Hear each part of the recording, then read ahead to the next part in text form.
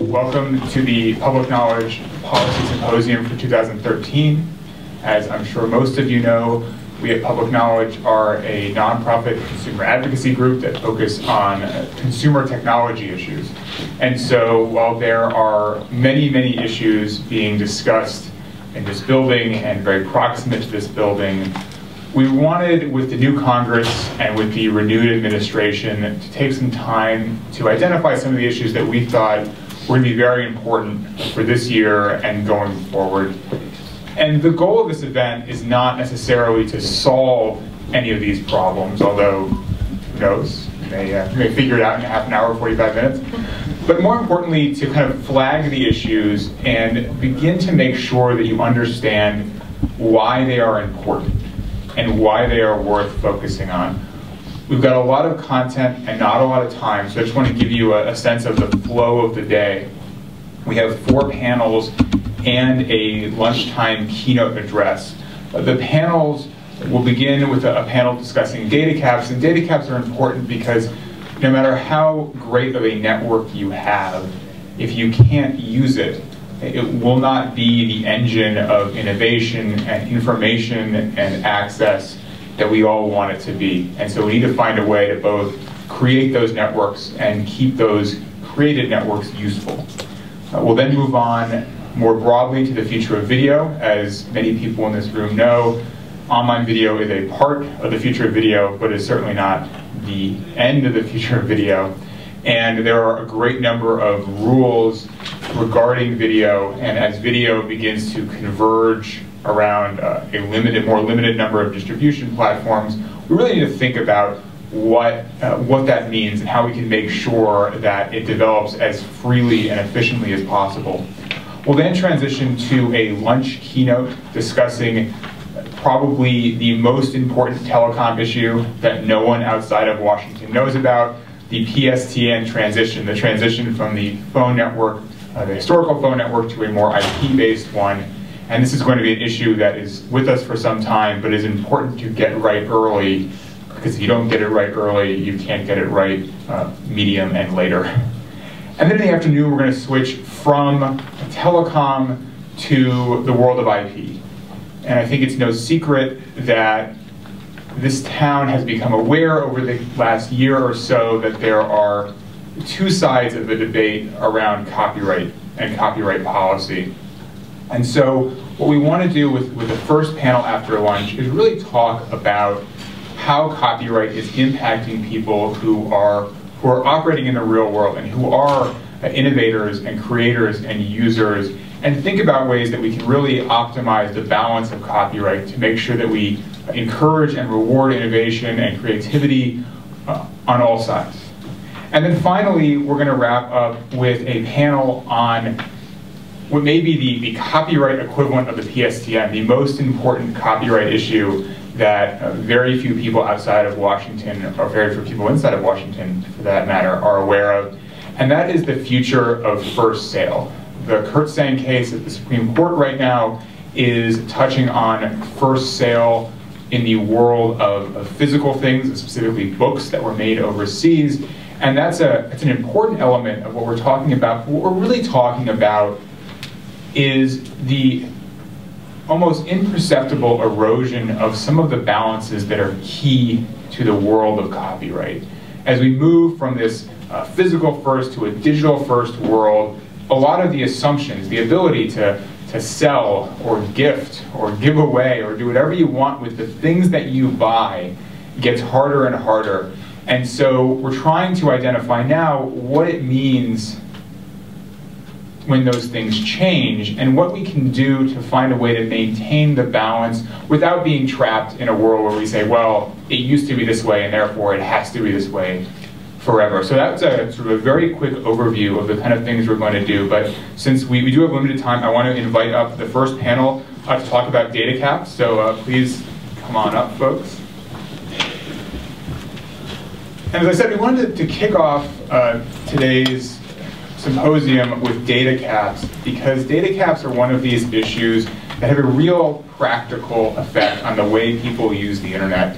And there's a lot of discussion about broadband penetration and broadband speeds.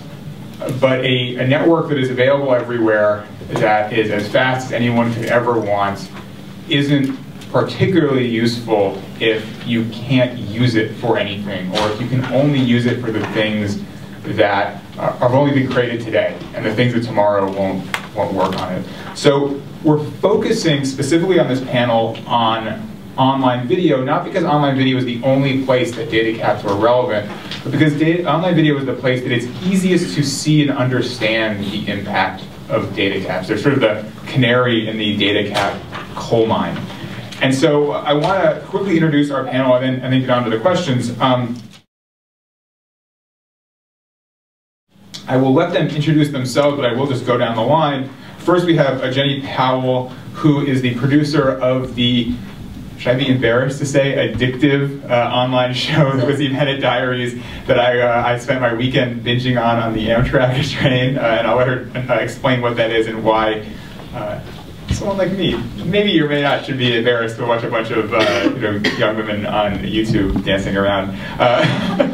and is also the director of content for VidCon. That sounded much worse than it is. and then Ryan Troy, who's the senior director of business development for Boxee, which is one of these services that are really trying to use uh, the internet and the cloud to change the way that we watch uh, probably largely more traditional video sources, although much more expansive than that. And then John Vezina, who's the political director of the Writers Guild of America West, and uh, who represents people who want to be in, who are, who are creating shows and want those shows to get out uh, every way humanly possible, I imagine. And so uh, look to see online video distribution as, uh, as one of those ways. But quickly, just uh, I'll give you each a minute to introduce yourselves and explain why you uh, came all the way down to the Capitol Visitor Center this morning to talk about data caps. Uh, hi, I'm Jenny Powell. Uh, the Lizzie Bennet Diaries is a modern day adapta adaptation of Pride and Prejudice done video blog style. So the characters speak directly to the camera, uh, they interact with the audience. Um, and then VidCon is the world's largest online video conference. Um, the reason I came down here today is because through VidCon and my work in the online video community, um, issues that affect creators are very, very uh, important to me, and I'm passionate about fighting for their rights. Um, and so data capping is something that personally affects them. So. I'm Ryan Troy. Uh, Boxee is a software company that um, has developed a cloud-based DVR that enables you to record free-to-air um, TC signal television. Um, and we have two boxes that we've uh, launched with our partner D-Link. Um, and we blend in a, a, seamless UI both your recordings from free-air television and your over-the-top applications like Netflix and YouTube and the like. My name is John Vezina. As Michael said, I'm the political director at the Writers Guild of America West.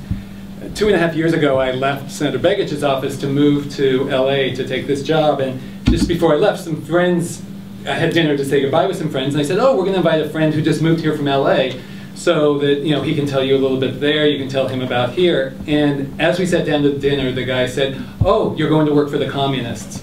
And um, little did I know at that time. But we are, um, you know, it's interesting as I take this, as I took the job and as we do more in this area, that people sort of think of Hollywood um, as monolithic, that everyone in Hollywood thinks piracy is more important than net neutrality, that no one in Hollywood, especially content creators, can't discern the difference of um, why it's important, example for writers, to be able now that conglomerates own all the distribution and all the production to have independent ways to get directly to the public with their with what they do. So that's why I'm here and that's why writers are involved because probably more than anyone, um, you know, people may be in love with Brad Pitt, but if you hear him talk when a writer hasn't written what he's saying, it's not quite so fascinating. And so getting what writers do directly out to the public is more and more important. So I'm going to get to, to data caps specifically in a second, but I want to first talk, have you talk a little bit about online video because I think for some people we're at a weird moment right now where for some people online video is something they're engaging with every day. And for some people, it is something they are only peripherally aware of. So you all have three different interesting perspectives about this. We just sort of explain how you see online video, its relationship with other more traditional video distribution platforms and where it kind of fits in that equation? Uh, so you mean like television and film? Yeah. Or- um, I mean, for me personally, uh, I've always taken online video as just an extension of an additional form of that entertainment can take. Um, it's kind of, you, know, it's changed a lot since, you know, it first started with people putting like their personal videos on YouTube into a storytelling and um, like a legitimate storytelling device. Um, online video tends to, just from an entertainment perspective, is usually more first person based, although scripted does also exist. Um, a lot of times they coincide, such as my show, which is done in vlog format but is scripted. Um, it tends to be a little bit shorter, but that again, that's changing. Um, I mean, as the technology gets better, it'll continually evolve. Um, so yeah, I guess that's would be my short answer. Yeah. Uh, Again, at Boxee, uh, we look at online video as a, a means to watch kind of when you, what you want, when you want, where you want. So um, uh, outside of obviously the traditional theater, you can now access through the web uh, everything on multiple screens. So the three-screen tra- strategy of the 10-foot UI on your television, the two-foot UI on your uh, tablet, um, or I guess the three-foot UI on your um, on your laptop. And so, um, you know, when you are receiving all of that uh, content over uh, IP, obviously the amount of bandwidth you consume will be increased. Um, and so we are seeing more and more uh, programming um, take advantage of that, uh, companion viewing, where there's broadcast television with a companion application that also has parallel video content going on. Um, and so people like ourselves who are focused on kind of unifying that user interface um, and enabling people to kind of pivot between the Netflix application and their television, it's, it's key to us that uh, they have access to as much data as possible. You know, it, it won't surprise any of you because you're the viewing public, um, as I am, that unless you're Quentin Tarantino or maybe Ben Affleck, it's very difficult to get something new made, something different. And so online to our members is, in, in a couple of ways, both the future and vitally important to protect. Um, for example, we have a member named Dennis Leoni, he's Hispanic, really frustrated at the way he saw Hispanics portrayed on television.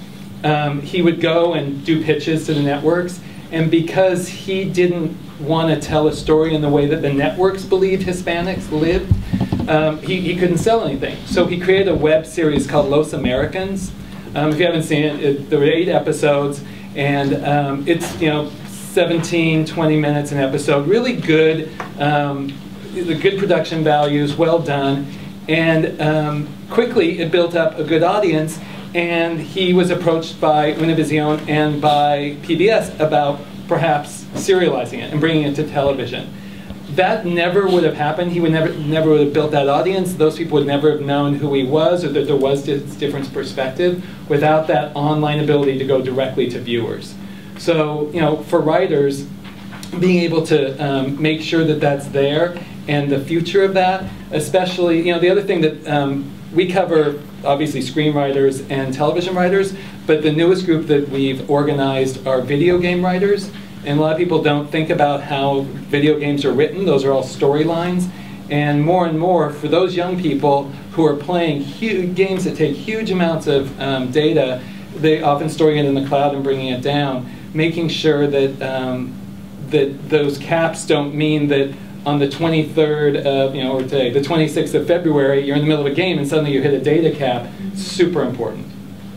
Yeah, I want to, I want to get the audience question first, but Jenny, I mean, you had a, a story from just last night about, um, you know, sort of mass mass hysteria around data caps. Just uh, we were commissioned outside, but, but very quickly, what uh, what happened to you last night? So I got in pretty late last night, and I was trying to check in, and there was a crowd of people just hovered around the the uh, check-in desk, and I was like, "What's going on?" And they were all like, "You said it was complimentary. Like, why isn't it working?" Um, they had shut off our Wi-Fi in the hotel because they, as they, they, the company said, too many people were streaming video. So they just called the hotel and said, "Okay, you hit your data cap. You're done." And so this poor guy was trying to tell these, this crowd of people, like explain to them what was going on, and they just didn't understand because to them they're like, well, you said it was complimentary, therefore we should have access to it.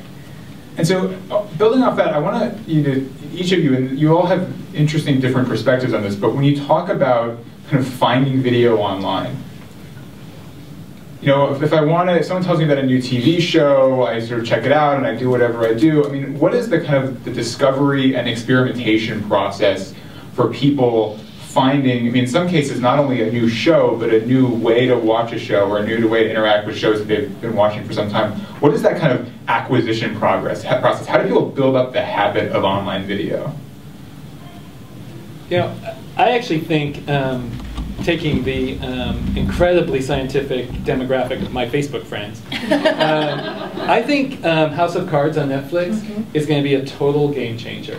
Um, it is unbelievable to me how many of my friends are um, binge viewing and not eating for 13 hours in a row and not leaving their couch and bed sores and the medical problem. Now we need Obamacare to take care of this. Um, how many people are watching that? And how many of my people, my friends, when they've seen me talk about it or other friends talk about it, they're like, oh, I can't order this on DVD.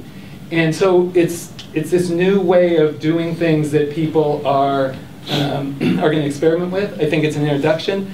And I think um, as people look at you know, the subject we're talking about, data caps, um, when they and other, you know, when Amazon starts streaming, when other groups start um, doing independent production that's really good, and you know, I have to say, self-disclosure, House of Cards is covered, and it's one of, you know, they signed our basic um, minimum basic agreement, so it's a Writers Guild member who's writing it. Um, that is so good for writers, but I think also for the public and the way in which, you know, my 81-year-old mother loved the British version, I think because she's retired, she'd watched everything Netflix had on streaming, so she went back to DVD. Now she's going to go back to streaming because she really wants to see this, and um, her good citizen son won't give her password so that she can watch it at home. So, um, you know, I think that we're on the verge of a big explosion of people figuring it out. And the other thing I have to say is my friends who are half my age, they don't want to watch things, um, even on DVR, when they're sort of told to. They want, you know, if it's 2 a.m. and they want to stream it, that's when they want to watch it. And I think that that user friendliness is going to have a huge impact. I think at Boxee we we focused on bringing the DVR into the cloud to uh, move away from those limits, um, both in storage capacity. Uh, we offer an unlimited DVR, but also the ability to access that uh, since it's in the cloud. Um, you can stream uh, kind of wherever you are. So um, any signal that's coming into your home, you can access that in and outside of the home, um, which you know, before joining Boxee, I was at Netflix, and we saw kind of consumption patterns around this binge, um, where people would pivot from the living room to the bathroom to the bus, um, and I think that that's a trend that's going to continue to grow as content uh, becomes available. Um, it's just a, a question of kind of uh, accessibility, and clearly data caps is part of that. Right. Yeah, I think with online video, a lot of it is about um, the way that people consume it and the fact that um, a lot of web series do have that regular like release pattern where they have a schedule. Like for instance, Lizzie Bennet Diaries, we have content that comes out Tuesdays or Mondays and Thursdays. So our hardcore fans who are watching it on a weekly basis, they do have that traditional experience of, oh my gosh, it's coming out at 9 a.m., let's all be there. But also, there are other groups that, you know, they wait till a certain amount of content is out and then they can go consume it in one full chunk as opposed to, you know, with some television shows, ones that aren't available on Netflix or Hulu, you're kind of beholden to when the show comes out. Like, you know, it's it's an event. You have to make sure you're there. Everyone needs to be there at the same time. Um, online video is kind of opening that up. So, you know, you could have a House of Cards watching party on a Saturday night at 3 a.m. if you wanted to. Like, there's no reason not to. Um, so I think that's really, it, it's online videos opening up the way we consume media. And I mean, just let's take Lizzie Bennet specifically who who are these people? I mean, who is watching this show? How many of them are there? Uh, what do you, you you're smiling. We're who are, watching it. I know, no, I know. I mean, who is who who who is who is your your audience? And then when you project forward, when you're producing a lot of uh, online shows right now, when you project forward, what does that audience look like? How big is that audience in you know in two years or in five years? Sure. Um, Lizzie Bennet Diaries, uh, another great thing about online video, and especially for us, we release solely on YouTube. Um, we have access to YouTube Analytics, which literally tell us exactly who is watching, when they're watching, when they stop watching. Um, we are 90% female, and it's 90% 18 to, we say 18 to like 25, but it skews younger. Um, it's like young women. Um, technically, we don't have analytics on that because you're not supposed to be on YouTube if you're under a certain age, but they are anyway. um, um, so, you know, we built this content for fans of Pride and Prejudice, and that predominantly is women, and we knew that. Um, so our advertising skews that way, um, all of that. Um, I know other shows that have the exact opposite. Like I used to work for Philip DeFranco, who's a very prolific online creator, and his audience is the exact opposite. And his is 90% male. So that's another great thing about online video and the, the things we're creating is if you're using the tools that the online um, platform gives you, you, you can know exactly who your audience is. You can start to create for them. Um, when you go to a video, there's a viewer count that tells you exactly how many people watched it. I mean, that's an entire other discussion because what is a view? what, what, do those numbers look like? I mean, how many people watch an average episode? Um, we're averaging uh, 150 to, to 200,000 per episode, and that's two episodes per week. Um, I think last I saw we're up to about 12 million views. Uh, episode 100 of our show came out yesterday, which was my birthday, so that was nice. Um, and we are WGA, so. so this is, I mean, this, this is sort of not a, an insignificant number of, of no. people, right? This is not, it's, it is, it is niche. Maybe it's niche compared to you know, cable television, but it is. Uh, yeah, I mean, we pretty pretty early on started having people knocking on our door saying, "Oh, hey, you're relevant," and we're like, well, we, we'd hope so, but I'm glad you agree. and, and John, I mean, when you were, you were talking about how you have members who kind of wanted to tell a story, couldn't find a way to do it, and then did it online, and then, and then kind of got picked up with traditional, in a traditional distribution channel. When your members are thinking about this, are they seeing it as an end or as a way in or some hybrid of the two? Is that sort of evolving right now? I think it's evolving. It's very much, you know, for writers, it's very much an nascent technology, and that it's not. It's just very recently that it's been able to be monetized. That either people will pay something to watch, you know, some small amount to watch what you're doing, or that we know that the networks are starting to look at um, at what um, at what people are watching and, and seeing like something gets a lot of hits, they start paying attention and talking to the writer, and not maybe even about that show, but about maybe, oh, we like the way you do things. Um, there might be other opportunities for you here. Um, there is, you know, I know this conversation is not about piracy, but there is um, within the guild um, a minority, but people who are worried about net neutrality and what that means for piracy. And more and more, um, I would say our more educated members, are pushing back and saying, this is really a way to fight piracy. If you use the internet to deliver things to people, say they don't want to go to a film at 6, 8, or 10 on a Friday night, they want to watch it at 2 a.m., and you figure out a way to, to wirelessly or wireline to deliver it to them in their home and say charge $5 for something that's not crap held on a handheld camera in a theater in Kazakhstan, um, that you're probably going to get people um, that way, and that's going to bring down piracy because there's no reason to then pirate. So, you know, we had this internal conversation about those issues because, of course, um, our members get money from residuals when things are shown legally. Um, so that's really important to us.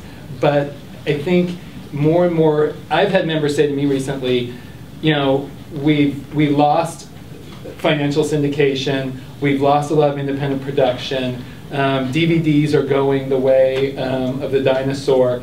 We cannot be here in 20 years looking back and having members saying, why didn't you fight for the internet? Why did you let people close it down? So, I mean, that's one reason I flew out here for this. It's because, um, you know, we see data caps as um, the camel under the, um, the tent, the camel's nose under the tent to a certain extent. And you know, we think there are better ways to to control things. Why did you decide that way you wanted to structure your DVR? You could have gone the more traditional route. You you did go the more traditional route at one point. Um, why did you decide that it was the cloud infrastructure was the way you wanted to do this?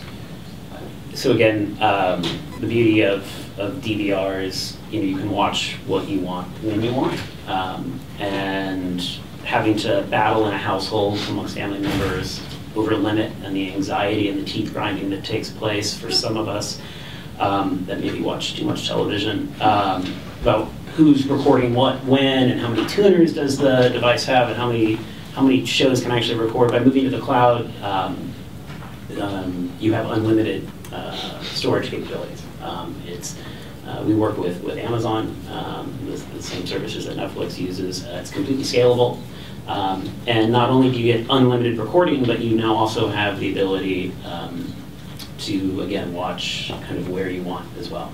Um, and so the cloud has that, that, that, flexibility, the infrastructure has caught up, um, and you know the streaming services, um, both subscription and VOD, have kind of laid the groundwork. Um, and you know it's just the natural extension, we think, of the television viewing experience, or the, the video viewing experience, is to um, kind of give you that, that celestial jukebox, if you will, of uh, what you want when you want, and the cloud is a natural step in that direction. So we talked a little bit now about online video and kind of where it is, a little bit where it's going, but I want to bring it back now to the, to the subject of the essential subject of the panel, which is data caps. Mm-hmm. And where, how, how can data caps impact the way people find online video and how they see it as a part of their viewing diet? I mean, what's, what's the relationship there? I think there's two sides to look at it. There's um, the viewing public, like how it affects them, and then the creators themselves, because it does affect the creators themselves. I'll start with that. Um, I mean, in order to do what these online creators do, who are often uploading large amounts of data every day because their audiences want that content, um, if they hit a data cap, it's not just affecting their livelihood in the fact that they're not getting their content out there, which they can then monetize, and you know it's their livelihood, uh, but it affects their entire audience who wants to see this content. So it's a huge issue on the creator side because it's essentially keeping them from being able to do their job. Some of these people, this is their this is their full-time job, this is what they do.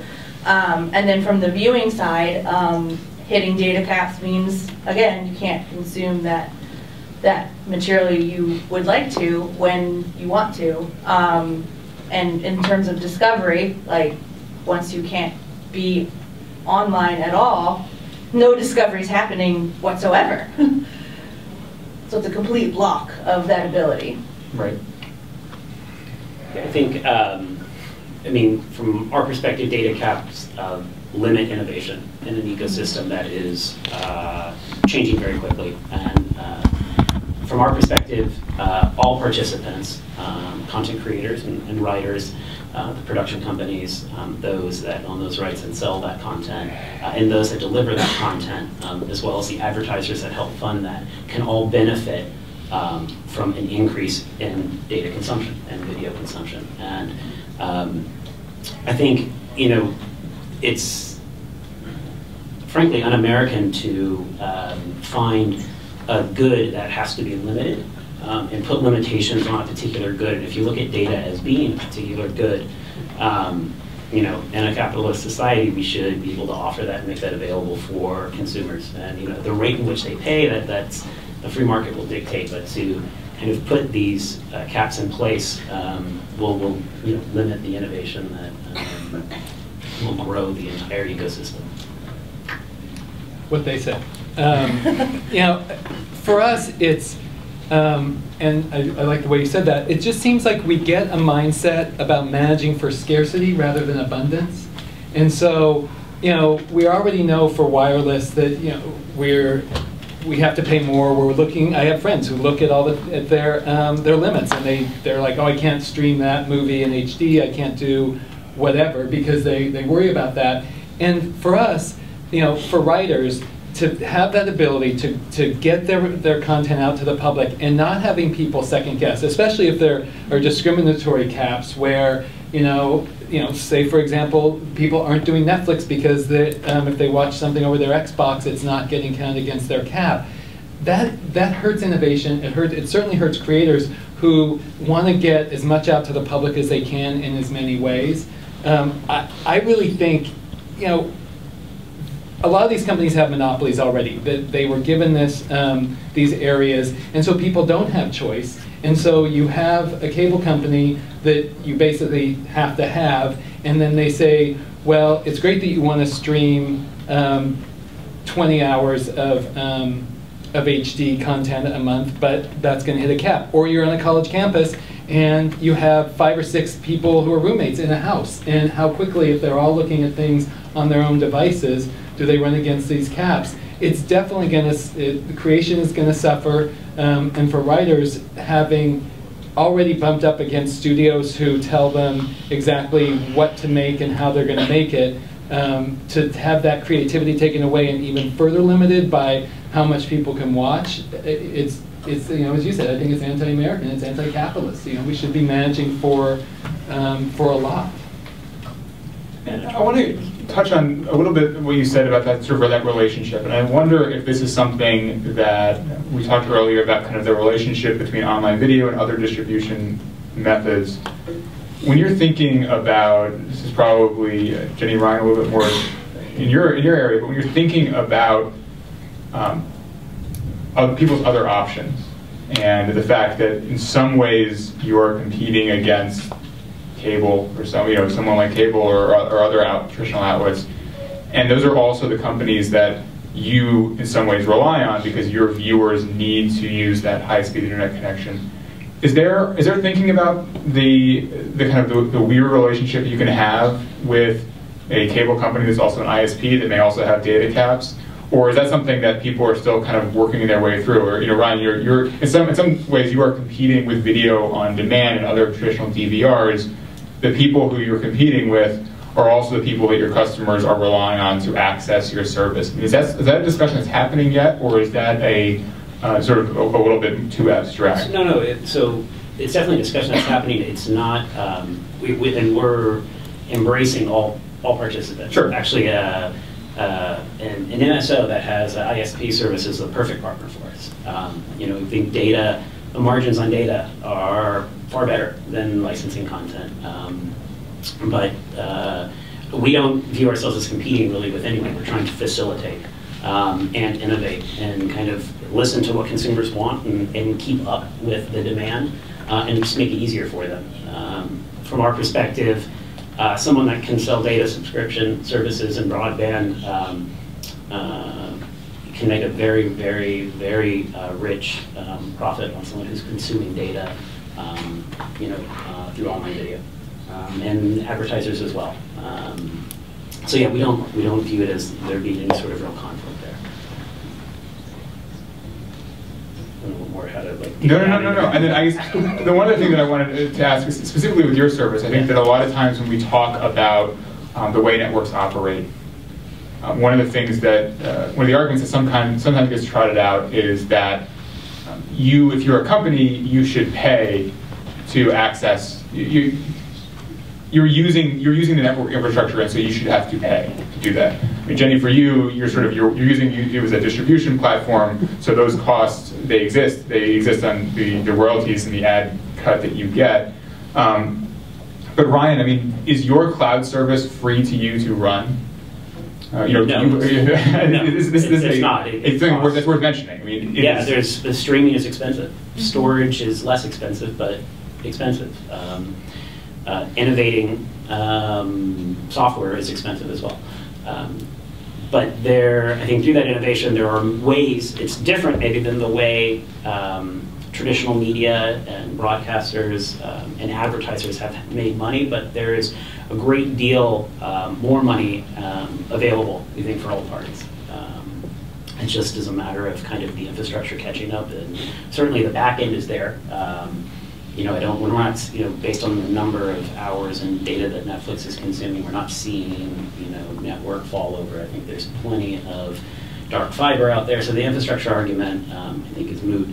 Um, I think really where there's room for a lot of innovation is around both the windowing and availability of content to keep up with consumer demand. And that's what we're trying to do with our DVR. So, you know, linear, free-to-air television, 89 of the top 100 shows are available free-to-air. Um, and many folks just aren't taking advantage of it. We're trying to show them that, hey, you, there's all this great content in HD um, that you can access. Um, and, you know, you're going to have to pay for broadband, obviously. Um, and if someone wants to um, pay a great deal for that, so be it. And the market will dictate what the price will be. But we look to legislators to um, help preserve that innovation and uh, just ensure that um, you know their, uh, that the ecosystem can be fostered across the board and keep up with consumer demand. And then uh, we're going to get some questions from the audience in a second, but I wanted to sort of uh, end this part I'm just asking you, when you when you project out, when you think about what this world looks like uh, in an idealized sense in a year or two years or even five years, what does the online video world look like? Uh, it, assuming there are no restrictions and you can sort of do what you want and consumers rea react positively. Where, what does the world look like? I mean, how different is it than it is right now? I think the concept of windowing uh, will go away. Um, where you will not run into um, kind of availability issues. I think mm -hmm. discovery, stuff like meta search, cross-provider search, where you're able to search different, uh, for a particular writer across different providers, um, whether that be available through free-to-air television or on your DVR or through a VOD service or through a subscription service. Um, that will become uh, much easier uh, and much more fluid.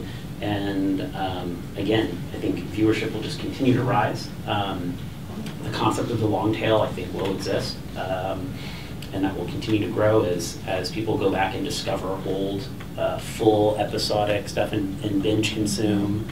Um, I just discovered The Wire uh, on my train ride. Yeah, right. It's a little show you may have heard of. Yeah. um, and jeopardize a relationship through it. But um, there's, uh, yeah, so I think that um, uh, international boundaries, I think, will start to, uh, as, demand for more content um, increases, uh, content providers and the license holders will, um, I think, be more motivated to transcend um, those borders. And uh, again, I think uh, the concept of windowing will start to erode as consumers have the ability to pivot and jump between um, availability. The DSLR like completely changed what creators could do. They could shoot high quality HD video without like having to spend a lot of money for it. And I think, you know, as the technology continues to get better, we're going to see more and more of that.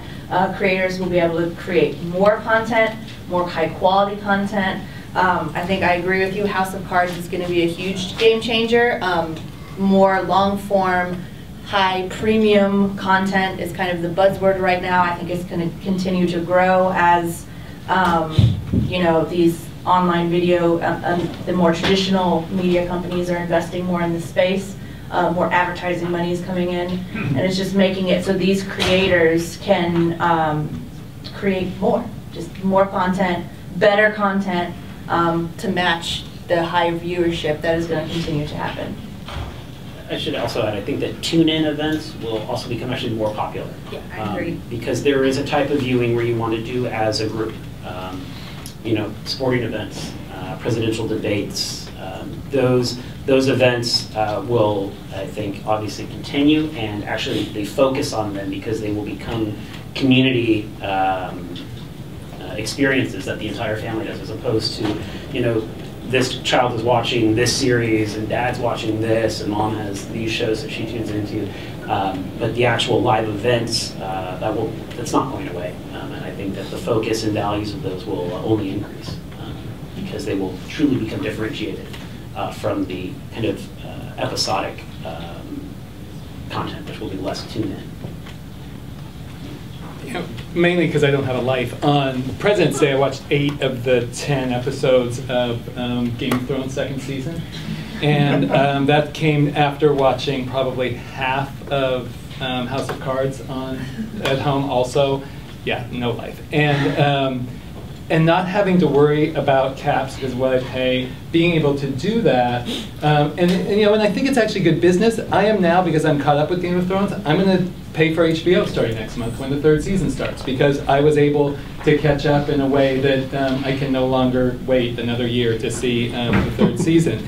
Um, the other thing for um, content creators we have a member named Tom Schulman who won the Academy Award for Dead Poet Society. Later stage in his career, he is looking at the internet in ways that he can take what he does directly to the public. And I think as you have established writers um, and other um, content creators who look for new ways to get what they do, and you know, and again, he's an Academy Award-winning screenwriter, to have that ability to go directly to the public with something maybe edgy or maybe not edgy, but something that um, he can't get made any other way because you know someone's making Battleship the movie. Um, I, I, think I would hope in a couple of years that we protected net neutrality um, to a level that that all of this product can go directly to the public, and maybe not at a level where a network would have to have, but at a level where a million Americans are watching or two million Americans. Um, you know, if you um, there's a, a LA sort of industry rag called the Wrap, and you can every morning if you subscribe, they'll send you the viewership for the night before and which network came in first, and um, you know you'll see some of the shows perhaps that you really like, and they've got six million viewers, and they're probably going to get canceled. Um, because they're the, the, lowest rated. And you know, six million Americans, if you can do that because you protect the internet and something like the new normal or a show like that can maybe find an audience that way, or Arrested Development that's going to be on um, Netflix, I think that that's good for the country. Absolutely. So we're handing out cards. If you uh, if you have a question, please put down a card and uh, let us know, and we'll we'll pick them we'll pick them up. Um, and I guess I so while while people are, are, writing, you mentioned kind of this this idea. And I apologize. This is, feels like out of left field, but this idea between kind of appointment collective viewing and the sort of shattering of uh, a, collective viewing because you know a, a, show goes is on tomorrow, but I'm not going to watch it for two years when I discover it somewhere. We're thinking about creating shows and about kind of the world, the culture that, is, that revolves around uh, video today. Do you worry about that fracturing reaching a point where there's where you lose kind of cultural coherence at all? Or do you see it as being a, you know, kind of each to their own, but then it's all that much more important when we come together for whatever that, that, that, that big event viewing is? Um, how do you, I mean, how do you, how do you think about that, if, if to the extent that you think about it at all? I think that the books people read tend to be personal, um, uh, based on where they are at that stage um, of the day or their lives. Um, Whereas watching a sporting event is something you do, not kind of in private. And yeah. you do that as a group because cheering on for that kind of common denominator is key. And so um, I think as ad models start to evolve and, and catch up uh, with consumer um, behavior, content creation is already on its way. Um, and we're just kind of at the beginning where they will start to melt. But um, I, I, do not think we're going to lose uh, our cultural identity. I mean, we're not a homogenized society, so to think that we all want to watch the same thing, you know, right. at 8 o'clock on Sunday is, is, is not, I think, very uh, accurate. So I think it will just evolve. Um, well, and I don't think there's anything wrong with, um, you know, for lack of a better term, off offbeat groups of people who come together around, you know, maybe it's not your friends. My friends would be very pleased to say they don't share my sense of humor. Um, but maybe that you know I find an online community, or I find you know there. Are, I don't think it has to be shared across millions of people. It could be shared across a few and still have value. And sure, you know, we're going to address some of those uh, issues on this panel. But, you know, we're on the Hill, and I'd be remiss if I didn't point out that there's a really technical part of all of this, too. Um, the House Energy and Commerce hearing that was held the other day which was called Satellite Video 101, illustrates this. And uh, you know, it touched on mechanisms for measuring markets, calculating royalties, distant versus local signals, the economics of spot beaming satellite signals, and so on. If you multiply these technical issues by 10 for cable, for retransmission consent, for program access and program carriage, and so on. You get an idea of what it's like to dive deep into how the government has shaped the video marketplace. Uh, the fact is that the television and video marketplace is highly regulated, not always in way, not always in ways that benefits consumers, and the future of video could depend a lot on exactly how those regulations are shaped.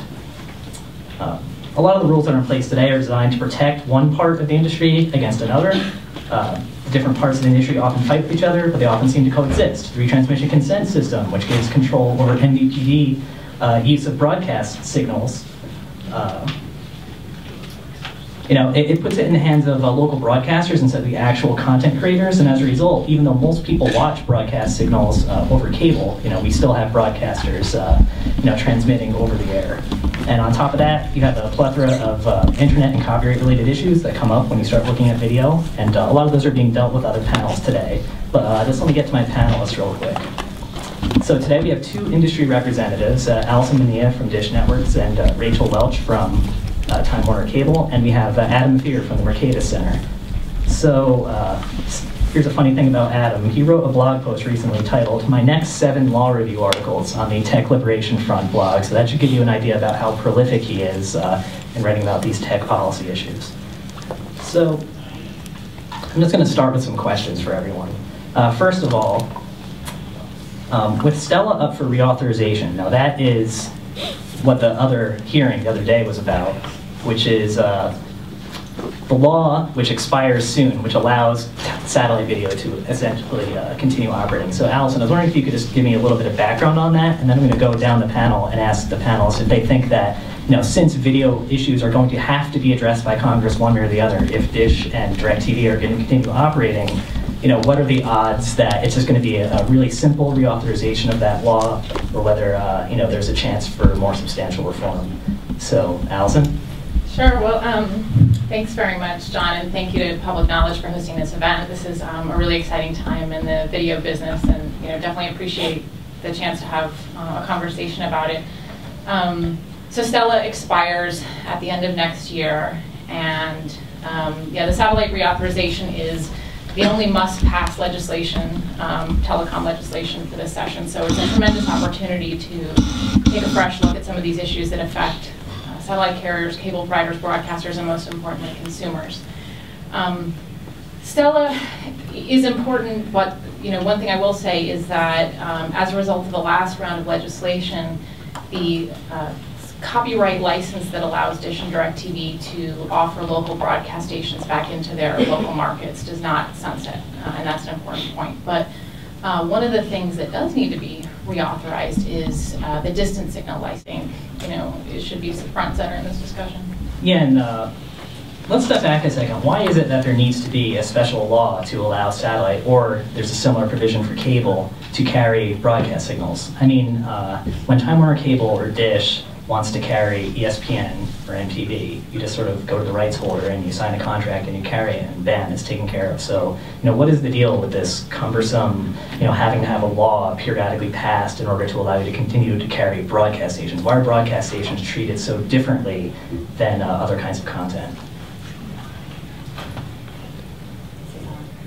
Um, well, I think, you know, there's a lot of, again, to John, thank you very much for having the panel. I'm happy to be here this morning to talk about what are really complicated issues and have a long history. So um, if you go back into the 50s, 60s, 70s even, um, that's really where the, at least the cable um, regulatory regime grew up. And the copyright issues have always long been intertwined with the Communications Act issues.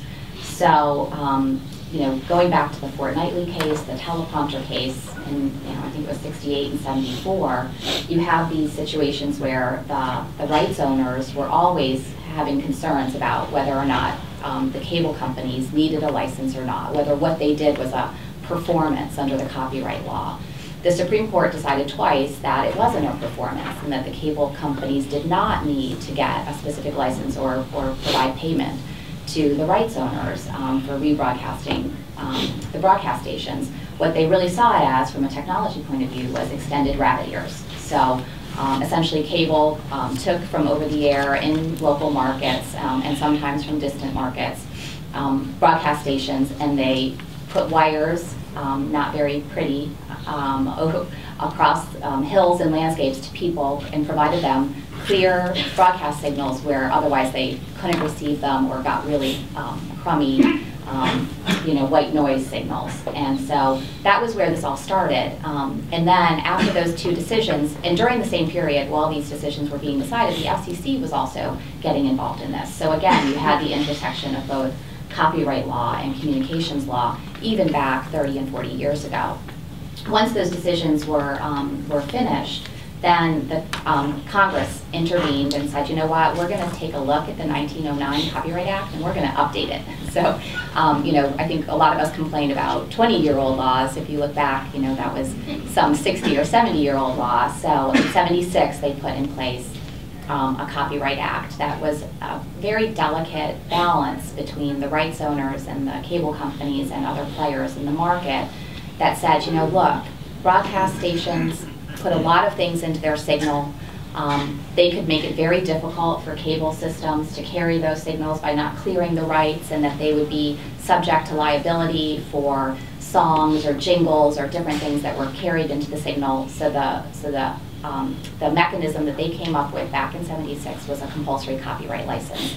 So for cable, we have both uh, local um, signal license and the distance signal license in a single place in section 111 of Title 17, and ours is permanent. Um, and you know, over the years that STELA's been reauthorized, the Copyright Office has been asked numerous times, um, how should we phase this out? How should we change it?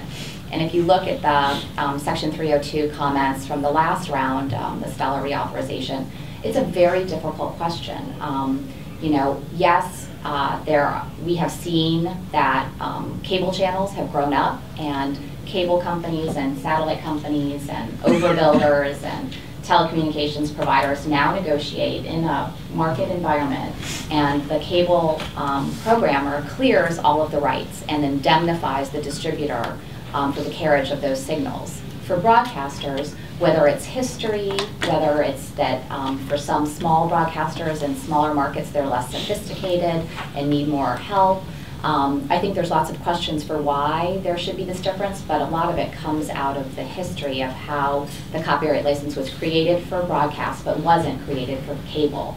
So for cable programmers, they, they basically had to come up and had to be creative entrepreneurs to come up with a way to clear the, to clear the copyright um, licenses for everything in their signal, whereas the broadcasters from 76 on you know, and before that, because there was no copyright license, didn't have to do it, and then 76 on haven't had to do it. So if you think about the mom and pop broadcaster in the, in the number 210 market, you know, what sort of um, costs would that impose on them to clear all the rights if it was put onto the broadcaster? What sort of mechanism would you use? Would you use an ASCAP type of system? Would, would the um, responsibility be on the broadcaster? Would it be on the distributor, like a cable operator or a DBS provider? Those are all the complex questions. So I think time and time again, what we do is we come to the STELA reauthorization and people say, let's take a really hard look at these copyright issues. Um, and then they realize they start peeling back the onion about just how complex and difficult these are to solve. Um, and there's so many players on the different sides of the issue that it's very hard to come to a solution. But essentially, um, you know, that's the history of how we got to where we are today. It's certainly not perfect. I think if any of us were to start with a blank sheet of paper today, we would come up with a very different system, both on the copyright side and on the communication side. Um, but this is what, you know, this is where you end up when there's a history behind it. I think from cable's perspective, what we'd like to see with this STELA reauthorization is for, you know, a continued dialogue. We've had these each of the um, times that we've had the reauthorization, but we think there is a need for a careful look at what this, um, what this regime should look like, both on the copyright side and on the communication side with now um, at least three players in every market for video distribution, um, plus overbuilders, um, uh, and now with over-the-top online video providers coming in, what should the what should the regulatory you know regime look like if over-the-top providers want access to um, to content and and need a compulsory copyright license? What else should happen on the on the um, on the Communications Act side of it? Um, are there Communications Act rules, um, regulatory underbrush that are no longer working? Um, you know, if you, if, you, if you did a Venn diagram of what's going on in terms of what applies to dish, what applies to cable, what applies to over-the-top or online video providers, it's a very different um, regulatory regime. is there a need to regulate up a little bit some places, regulate down other places? And so I think what we'd like to see is a fulsome dialogue where people really dig into the details about this because is this the right regime for the 21st century? Um, I'm not sure that there's anybody um, today that would say that we've um, come up with the perfect solution here and maybe it's time for some tweaks. Yeah, so so basically, in the 1970s, uh, you know, the DC consensus started to be, okay, we've decided that cable systems need to have a copyright license in order to broadcast broadcast content. But look, it turns out that broadcasters actually are just broadcasting network content, syndicated content, stuff that they don't even really have the right to license further on to cable systems. While as the cable world, you know, HBO, always evolved in a world where they had to acquire all of those rights from the beginning. So we came up with this scheme of the of retransmission consent where you have to get the permission of the broadcaster, not the copyright permission, but just permission to retransmit their signal, while at the same time you pay a fee uh, to to cover you on the copyright side, and presumably content owners can get some of their money back from the stations. Uh, you know, it's 40 years later though, and you know, maybe if we picked differently in the 70s, by now broadcasters would be able to sub-license that content, but we sort of put it off for 40 years because we came up with this system. So I just want to ask Adam, is this, did we make the right policy choice in the 70s uh, to set up the system as it exists today? Uh, and what would you have done were you in charge to uh, solve this You're stealing all my thunder, John. I think I've agreed with everything you've said so far. So um, first, let me thank you and Public Knowledge for inviting me here today. And first, what this panel proves to me is what I've known since my high school days, which women are scared of me.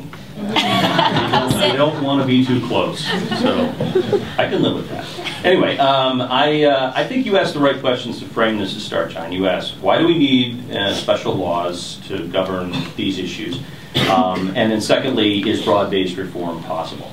And now you've asked a question like going back to the ancient history of this. And, you know, uh, it's crazy. I mean, the, the way this is unfolded is that one misguided intervention has begot another and another and another, and now we're stuck with a regime that nobody quite understands and that we're all terrified is going to apply to new technologies and services. And, you know, this debate, you know, in a sense, you have to ask yourself, do you really believe in free market contracts? Do you really believe in traditional copyright? Do you believe also in antitrust? Because to the extent this debate is about people cutting deals, this happens every day in a marketplace. We have contracts for all sorts of other services, including in the video marketplace. To the extent this is about copyright, traditional copyright should be able to handle all of these issues the way it does in other contexts. Sure, there are going to be enforcement issues, but why do we need a special regime for certain types of content? The answer is we don't. And then third, to the extent this is about market power, local market power, whatever, we have antitrust laws that cover these things. So there are other remedies. We didn't need to create a convoluted regulatory regime. And all of these things, whether it's must carry and retrans and compulsory licensing and syndicated exclusivity and all these things, just layers and layers of rules that now threaten to bleed into the online ecosystem and apply to all the new technologies in town and really potentially hurt them. So what I'm optimistic about, however, is the fact that we have what economists and political scientists would call a perfect natural experiment going on in this marketplace natural experiment basically says, well, the hell with what labs studies say or what you know abstract theory says. What's going on in the real world? For example, we have a wonderful natural experiment between capitalism, socialism, and North Korea and South Korea. We have a pretty good idea who's winning that. What's the natural experiment that's happening in this marketplace? Well, it's the fact that we don't have this regime covering a lot of these new services. And the fact of the matter is that deals get cut every minute of the day. That doesn't mean it's perfect. There are some blackouts. There are some problems with contractual negotiations. Dish and AMC had a little spat that lasted about three months last summer, and it got quite heated. But you know what? That's cutthroat capitalism. They eventually sealed the deal and got it in, and the content kept flowing. The reality is, is that we can work these deals out. That a huge market for rights aggregations developed subsequent to the 76 Act we didn't think things like HBO and Discovery and History and things like this would exist back then, but they now do, and they aggregate these rights and they sell them, and these markets work fairly well. So my hope is, why I'm a little bit optimistic here, even though reform in the Hill is going to be tough, is that more and more stuff is getting pushed into that box. And that's the way the world is working today. We just have to hope that it doesn't get encumbered with the old rules applied to the old analog world. Well, stepping back though, how do you transition from the world we have now and also the world we had in the 70s where there was no requirement for cable systems to have copyright permission, so there was no one to go to really, uh, the way there might be for a cable channel. So how do you transition from the current system, or what we had in the 70s, to the system that you would see as being ideal? Is it even possible? And the further question is, is it really worth it? I mean, uh, I don't have anyone from content uh, up here, unfortunately, but they often complain about the co compulsory license, saying that they don't get the full value of their content, and they, and they think that they would do better in the free market. But you know, they still cut deals with, with the stations, which then grant retransmission consent. So why can't they just get the full value of their content from someone else? I mean, I'm saying, yeah, it's a dumb system, it's convoluted, it's not what anyone would design, but is it really worth changing? And is it even changeable without having, you know, years of disruption, which uh, would really not be beneficial? Well, well, of course there's going to be years of disruption, but really quick answer to this. You're making a great point, John, which is that right now the content community cuts a lot of deals with a lot of other players who just have this special set of rules mostly for broadcast-related content. But the reality is, is that we know that those deals can be cut, and they are every day in the marketplace. I'm mm-hmm. astonished by the fact that a lot of folks in the content community have essentially abandoned this opportunity to get rid of something they've always regarded as sort of one of the original sins of this regulatory regime, which was compulsory licensing.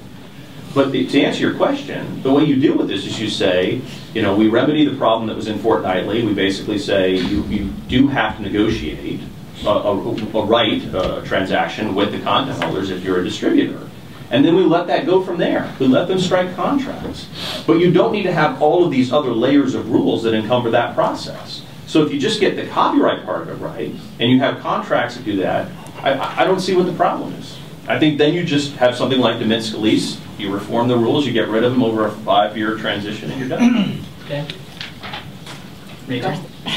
Well, I was going to say, you know, to, to be realistic, it's, it is pretty complicated to figure out exactly how you do it, given all the interests, but I think it, it is worth having the discussion about how you would um, address the changes. And I think from our perspective, the most important piece of this is that you don't do it in a vacuum. So if you look just at the elimination of the copyright license, but you retain the retransmission consent regime on the other side of the on the other side of the equation, so you eliminate section 111, 119, 122, and you say, look, broadcasters, um, figure it out, you know, clear these rights. And that's a question too. Does it fall onto the distributor side that we have to make sure that the rights are cleared? Do the broadcasters have to make sure it's cleared? Is it going to be some third party? So there's some mechanism questions about how you actually would um, execute it. Um, but if you do all that in, a, in the vacuum of Title 17 without looking at the Communications Act issues, um, you know, you haven't solved the problem. So if you're really looking to enable um, the, to take out kind of the middleman a little bit and allow the parties who have the rights to negotiate, you have to also look at syndicated exclusivity, sports blackout, retransmission consent. And it gets complicated, quite frankly. So if you look at um, the STELA reauthorization in the past, you have both the Judiciary Committee and the Commerce Committee trying to work this out. So I, I, what we are hopeful for is to see this, to have this dialogue. I think we're getting to a, a point where some of these systems are breaking down. So as Adam said, um, I, I think especially on the, on the, on the um, programming side, the cable programming side, we do see generally that these that the market transactions are working. On the retransmission consent side, where it is with the broadcasters, what we are seeing is increasing disruptions. So there are lots of people who are saying, wow, the compulsory copyright license is terrific, it works really well. I think there's a question mark there. Is it working? And is it working in conjunction with retransmission consent? Because what we're seeing is more disruption for consumers, less, you know, um, you know, kind of continuous uh, uh, um, provision of the broadcast signal, which is was deemed so important by Congress. So, so asking these questions and then trying to figure out how do you navigate through the juggernaut of a Judiciary Committee jurisdiction, a Commerce Committee jurisdiction, and, and all of the parties that would be interested in doing this. Can you do it in a two-year period? Unclear. Um, but certainly I think we're at a, a point in time where these hard questions need to be asked and we need to be looking towards how we you know, reframe um, the regulatory uh, regime going forward. Yeah, I, I agree with everything Rachel said. And what I would add to that is, if you take away the compulsory copyright license, what's left is not a free market. That's not the result when you delete that one aspect of it because um, you know, the retransmission, the must carry slash retransmission consent regime that has been established ultimately doesn't work for the marketplace today. Um, you know, if, if 20 years ago there was one broadcaster and one pay TV distributor, distributor in a market, the situation was more like mutually assured destruction. You know, the, the broadcaster only had one option for a pay TV distributor to carry them, and the pay TV distributor only had one option for NBC content in that market. Today, it's different. Today, there are, you know, in general, three pay TV distributors in each market. There's Dish, DirecTV, there's a cable operator, there may be somebody like Fios or U-verse. So um, your broadcaster asks for, you know, a several hundred percent increase in the rates, and Dish doesn't, you know, want to pay those rates because we want to try to keep our service affordable, that broadcaster has, you know, three, four, maybe more um, alternatives um, to get their, their signal out, and then ultimately consumers are left in a bind, because if they lose the, the station on Dish, yeah, they can switch to somebody else, but they incur all the switching costs, and they, you know, may lose some of the things that Dish offers, like the Hopper that they really like. Um, so I definitely think that if we're going to re-examine the copyright license, we definitely have to look at all the things that come with it to make sure that what, what we end up with is what we hoped for. Yeah, so I think you've raised, both of you have raised the interesting point that it's very hard to change just one aspect of the current regime without looking at the other. For example, yes, I would, I would totally agree. It would be very difficult to get rid of the compulsory license uh, without also looking at retransmission consent because now all of a sudden you have a, a, an MVPD that has to get permission from two sets of people that are to broadcast content, and that seems to be uh, not ideal.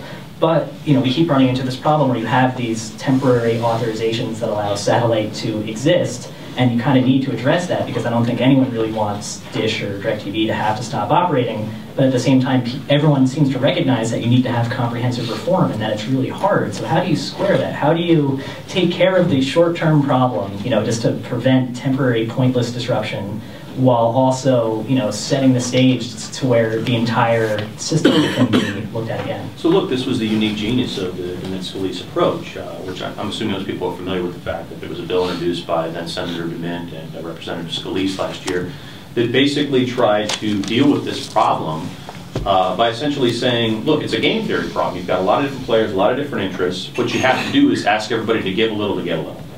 And that means there's going to be some sacrifices, but there's also going to be some gains. So yes, compulsory licensing would go, and that would help content owners in the long run. Um, um, but on the other side, they would have to give up things like retrans and must carry and syndicated exclusivity and some other issues. That's the kind of reform that ultimately breaks this logjam. That doesn't mean it's easy. Uh, I mean, the reality is, I'm, I'm not naive. I mean, piecemeal reform is always going to usually trump things like this. But if you wanted to get it done, in theory, we have the model. That's it, DeMint Scalise. Whether it has prospects of successful passage is another matter. yeah, without, have an executive without DeMint. Mm. Uh, it might be, yeah, without DeMint, that might be a bit of a. Um, I'm going to step back a little bit because I think that some of the rules that we see, uh, to my mind at least, are designed to protect one part of the industry against another. And you could just like go through the entire litany. You know, this is designed to protect content creators against cable. This is designed to protect broadcasters against content. This is designed to prevent MVPDs against each other, and so forth. Um, but you know, I want to I want to mention the broadcaster bit a little bit because I think it's really not a coincidence that the broadcasters maintain such a key uh, role in the 1970s and today in the rules, and that they seem to benefit a lot from things like syndicated exclusivity and uh, you know sports blackout rules, or, or you know just go down the list. And so you know who is really who benefits most from the current system? Like if you want to have the theory that the FCC and Congress is captured who is it captured by and for what purpose? Or is it just like this you know, elaborate machine that sets different parts of the industry against each other where they're almost at a stalemate? Or is there someone who, who gains more than, more than everyone else? And, well, when government has its thumbs on both sides of the scale, everybody's interested in the result, right? I mean, the reality is that's what's happened, is that we've had Congress and the FCC trying to rejigger the balance of the scale after one intervention after the next. And this has been happening not just going back to the retrans uh, issue, not just back to compulsory licensing, not just back to must carry. It goes all the way back to the primal intervention of spectrum nationalization. And there you started a public interest regime that said we, the FCC, will make a lot of decisions about marketplace transactions. Now, I suspect I'll disagree with some of my friends of public knowledge about whether or not we should be eliminating the nationalization of the spectrum and moving to property rights, but so be it. Let's understand that, that once we got the ball rolling, that's you know the bed we're not laying in. But again, how do we get out of it? How do we get out of this problem? I think it requires a comprehensive type of reform that basically says that the FCC will not have its thumb on either side of the scales, that will move all of this into a free market contractual regime, but one that essentially both honors copyright and understands that antitrust is there as a backstop. And we treat communications and media markets the same as we do any other markets in a free market capitalist economy. But that's not an answer anybody wants to get to. Well, Well, and maybe I could just take a slightly different approach on this too. I mean, you know, I, I believe in government, and so I think that government generally starts from a premise of trying to do what's right and to do something that would be good for consumers. And so in 1992, what they saw was vertical integration between a cable distributor and a programmer. And they said, you know, look, this looks like it could be a real problem, and the, and the interest that they wanted to protect was local broadcasting. And they said, we're gonna, local broadcasters use Spectrum, they get it for free. We're gonna, we're gonna, one, treat them in a special manner, um, you know, because of that, we're going to impose certain obligations on them for public interest obligations, localism, competition, diversity, um, because we want, we think that this is really important to the democracy of the United States of America. Okay, great. So now what you've seen over the last 20 years is a huge shift. There's, there are big questions, I think, that need to be asked about whether or not the broadcasters are fulfilling those public interest obligations. Are they different? Are they special? If you ask someone who's under 25 years old, do they recognize that bro a broadcast channel is any different than a cable channel? Um, you know, that's a question that needs to be, to be asked and answered and what has the shift occurred? Because as Adam said, you know, when you when you when you intervene in a market, you put your thumb on the scale. So what are we seeing today? What we're seeing are very large media conglomerates with stables of channels, 30, 40, and 50 deep. Um, and then they require the carriage of all of their signals on any distributor. So if you want to get their most favorable, favored program, their most popular programming, you have to carry the rest of it. So if there was a question about, a concern about cable vertical integration in 1992, which was pretty, was fairly significant in terms of its number, there has to be a question about what has it caused, what has been the outcome as a result of what the government did in putting its finger on the scale, and should there be another intervention, and what is the intervention? Is the intervention more regulation or is it less regulation? And I think those are the questions that are in front of us in terms of how do we address and move forward into the you know 21st century, the future of video, which is the question for the panel. So those are the types of things, you know, if broadcasters are special, then they, they should embrace those special requirements as well and not look to be essentially on the on the market side, the commercial side, just like a cable programmer, but then have special benefits on the regulatory side. Um, if they are going to be special, then then maybe they, you know, and if they serve a special purpose uh, in terms of bringing news and information and serving the local community, then then maybe there's a different outcome. But I don't think that we have the answer anymore about whether or not those those self-evident truths back in '92 or or earlier um, in the advent of broadcasting remain so today. Well, you know, I, I think localism is great. I mean, I suppose my question would be whether the current system actually promotes its purported goal of localism. If you have a broadcaster who makes almost all of its money by reselling national content that comes from a network or it's syndicated, and then because of the compulsory license retrans system, is the exclusive local agent for that content, which is not local and which they did not produce. I mean, it seems like they don't really have an incentive to produce compelling local content, while if you suddenly changed that system, you know, maybe, and you had broadcasters have to pr produce content that people want to watch locally, and that is what they get their money from almost exclusively, I think that might actually promote localism a little more. I'm Well, a moderator slash participant. Right. well, and I think, I mean, that is the question, right? So if, um, you know, eh, where, where, what, really, where, what's the money flow, right? Yeah. So if the, if the networks are providing the most compelling programming to the broadcasters, that's what the retransmission consent fee is essentially going to. That wasn't the goal when Congress enacted it in 1992. The goal was for the signal, not for the content, and it was supposed to go back to the local station. What we're seeing now is 50% or more of the revenue flowing back up to the network. So there's been, you know, an, uh, a, you know, I was say a bastardization or some sort of, you know, what was the purpose of the creating the fee and retransmission consent was for to, to prop up localism and make sure the local channels did well. And the question is, if, if we're seeing the money flow upstream to the networks and none of the money being reinvested in local programming, there's a real question about whether it's still a workable, viable system that's getting to the outcome that they were hopeful for. Just a brief point on the localism point. Uh, you know, to the extent that policymakers, be they in Congress or the FCC, continue to push localism or overarching value in this debate, that continues to put a thumb on its scales in its own right. I mean, why do we have things like network non-duplication rules? Why do we have syndicated exclusivity these things? They're rooted in the belief that somehow that promotes localism. And localism has been, been, you know, the raison d'etre of broadcasting for a long time. But the reality is, I'm just going to say this, whether it roots in broadcast egos and policymaker egos, a lot of the public doesn't demand localism. And we see that with markets that are natural and free that develop to the tastes and demands of consumers, things that aren't exactly local in character. Now, the reality is, is maybe we still want some local programming. I think we'll still get it, but the reality is we should make everything subservient to it, or else you get rules exactly like the ones we're trying to Right. Yeah, that's maybe a, a, a, a broader point. Uh, I think just my observation would be to question whether we're actually even promoting localism. Like the rules may have been intended to, but they had the consequence of simply enabling, you know, local businessmen to get rich. Protectionism. National Yeah. uh, content. You know, all right, I'm going to go a little broader now and ask Allison this question first because Dish, you know, as you know, with the automatic commercial skipping hopper, has been something of a disruptive force in the uh, traditional MVPD space.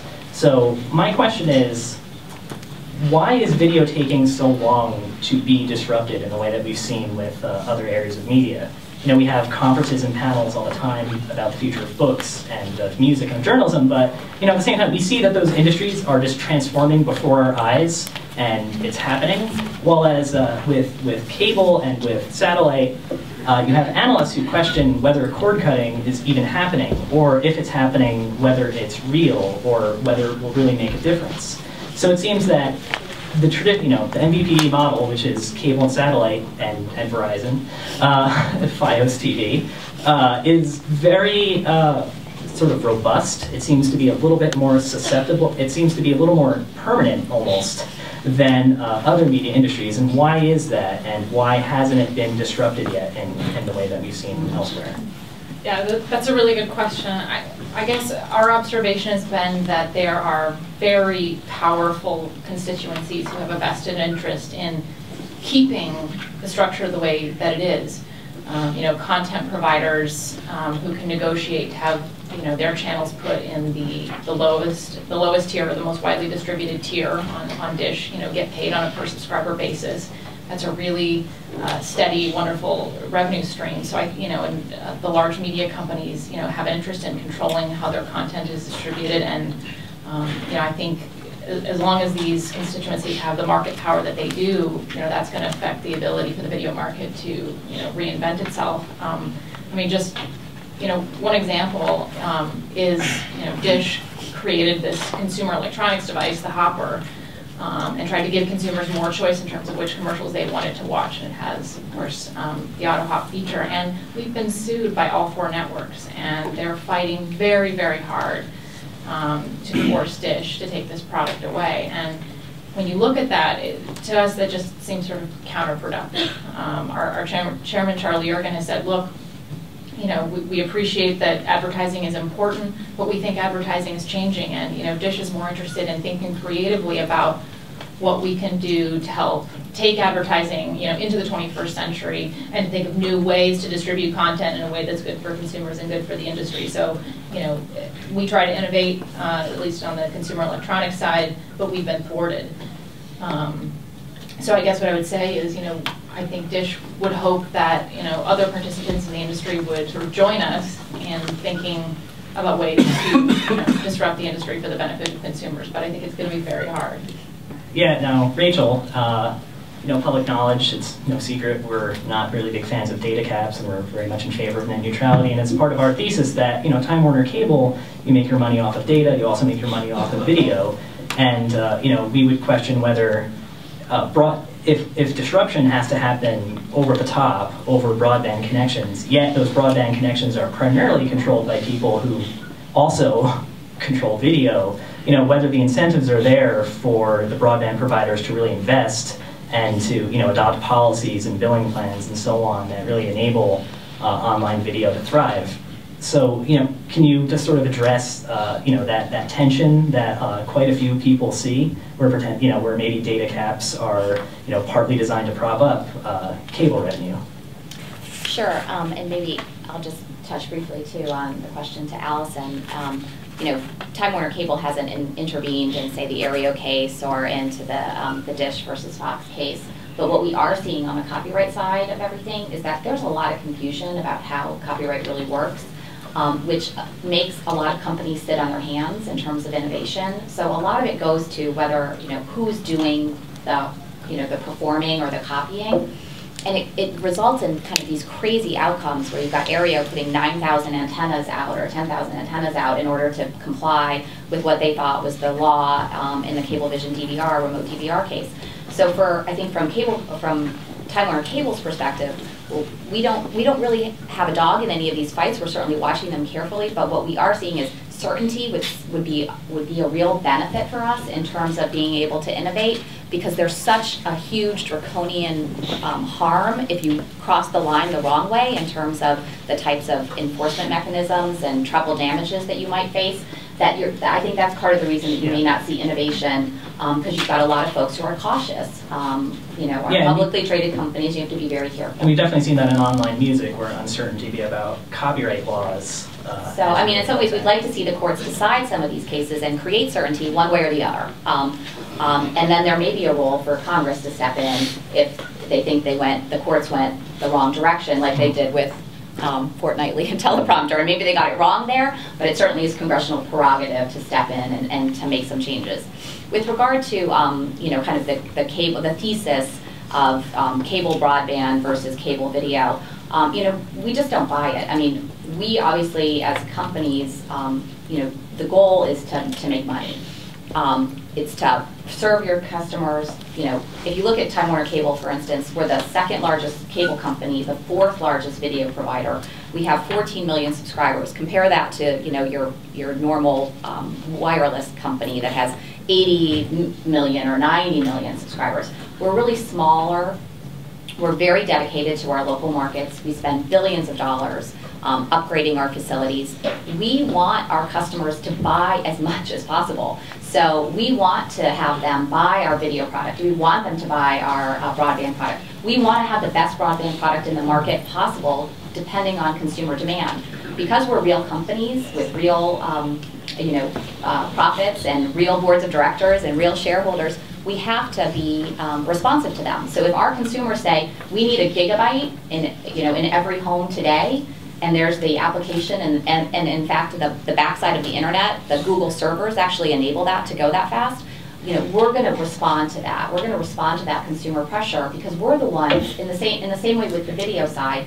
Part of the problem I think that happens with um, the video product is that it's only the, the distributor that has the relationship with the customer. We're the ones that send the bill. We're the ones the customer calls when the signal goes dark or when the bills go up. They never call the broadcaster. They never call the cable programmer. So there's no discipline in the market for the cable programmer to ask for less money or the broadcaster to ask for less money. It's the same on the broadband side. We send the bill to the customer. We've got some customers who only ever surf and watch CNN or you know read CNN articles or only send um, emails with their pictures of their grandchildren. We've got other customers who are online all night gaming and they want faster and higher speeds. So Time Warner Cable's um, uh, approach to the to these types of things is really about consumer choice. So, I mean, I take your point, but I think it is a little more nuanced than that, where Well, your it's a little incentives are not. you're saying as well, because it does, I mean, there's a glide path to change, right? So, you know, the cord cutters that are happening today are, are people who, you know, either they're really budget conscious or they're very tech savvy and young.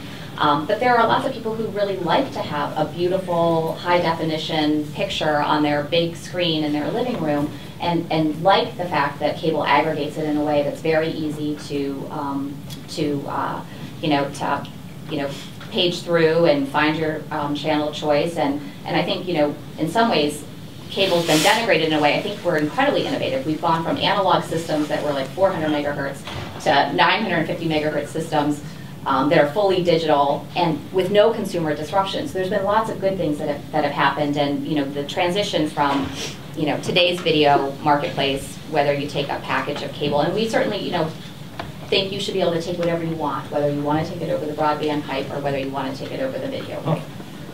Adam, did you want to uh, touch on any of I this? did, but I know you're getting to questions. So. Yeah, I, I have some questions here. I'm not going to be able to get to all of them, and then I have a final one of my questions. I'm going to ask this. I probably already have the answer to it, but I will ask it as written. If uh, Time Warner Cable and Dish cannot buy AMC or Bravo from two or more suppliers, why should they be allowed to buy network programming from multiple suppliers by eliminating network non-duplication? Anyone? So, you know, if you want to, if you want to carry MTV, you've got to go to Viacom, right? So would this world where we get rid of a lot of the protections that local broadcasters have, where you're like, well, we want to carry ABC content, we can't get, get a good deal from the local station, no, so we'll just go to Baltimore.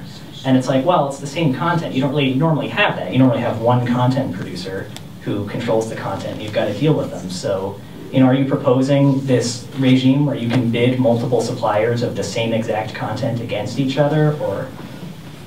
Look, I mean, this is something that, there's many different layers to the contractual negotiating process over content. This is something that networks and stations and distributors all have to work out amongst themselves. We've again seen this work out in other, in other contexts. What I was going to do, John, is challenge your assertion that there hasn't been a lot of disruption in this field. I think there's been an incredible amount of disruption, and you see, I mean, I was reading Gigi's uh, testimony, Gigi Sohn's uh, testimony on the way over here when she talks about there's widespread agreement that we're currently living in the golden age of television, and she cites Mad Men, Breaking Bad, Game of Thrones, Modern Family, Daily Show, Colbert Report. Think about that. Of those six, seven things she mentions, only one of them was on broadcast television. That's a pretty big form of disruption itself. Number two, I watched four of those, every season of four of those, on my Xbox 360.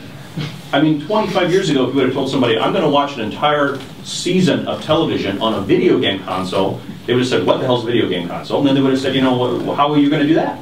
That's what we do today. Huge disruption. How do those contracts work? I mean, there were people competing off of each other all the time for whether it's going to be on a video game console or on Hulu or on Netflix or on television.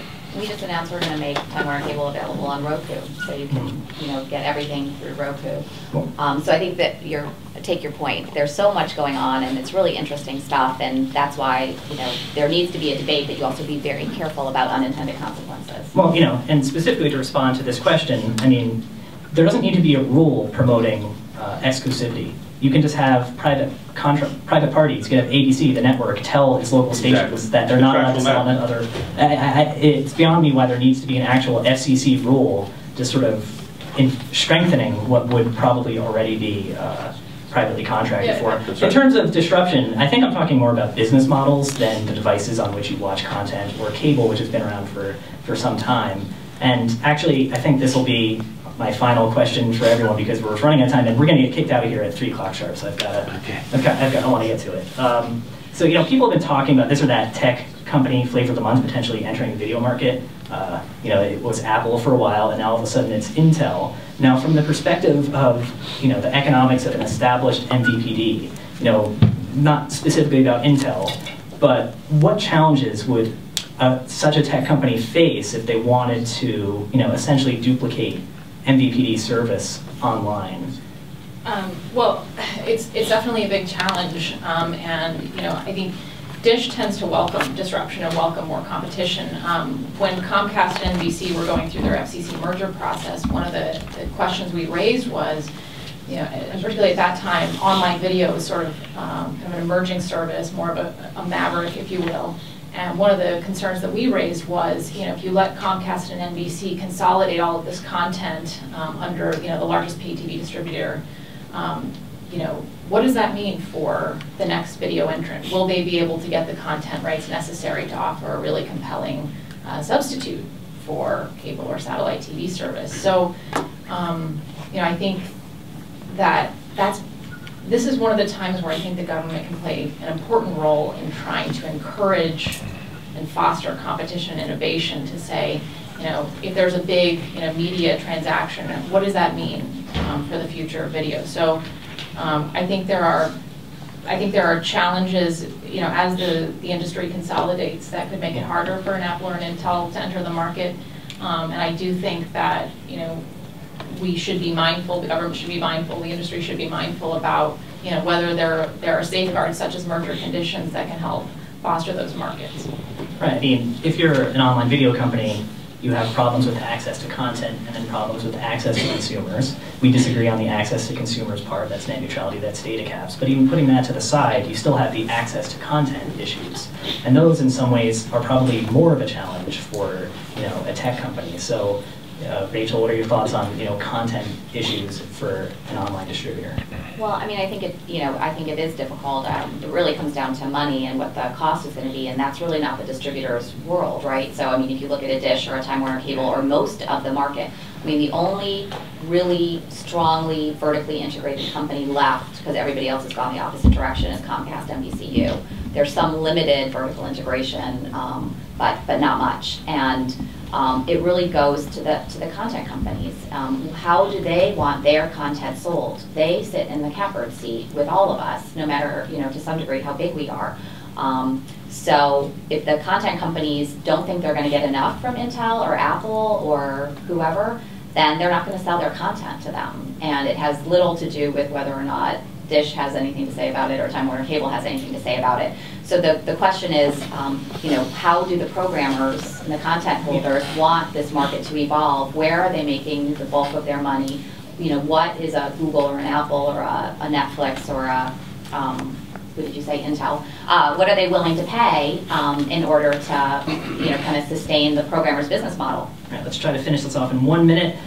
I would just say on that, you know, if you're a programmer, it's very hard for you to start selling online if Comcast tells you not to when they're your biggest buyer. And one of the distortions of the marketplace today is that Comcast can't tell an independent programmer, don't sell to Time Warner Cable, don't sell to Dish. You know, we have actual FCC policies in place, some of them have sunset, that prevent that. There is no such protection for online video, and that is, whether or not you think those policies are good, it is certainly unequal, and that is a challenge that online video John, what you're making is an antitrust case. If you want to make that case, go make it. We don't need affirmative regulation to deal with this stuff. Like I said, contracts, copyright, antitrust can handle 99% of the problems we're discussing here today that are currently encumbered by these crazy rules that do nothing more than protect certain interests.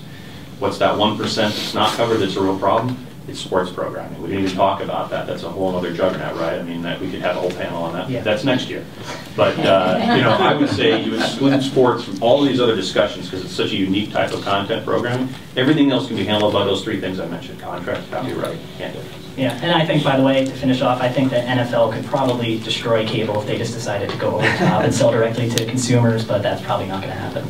All right, uh, got Reading Buzz, but that is not related to us. But if everyone wants to grab.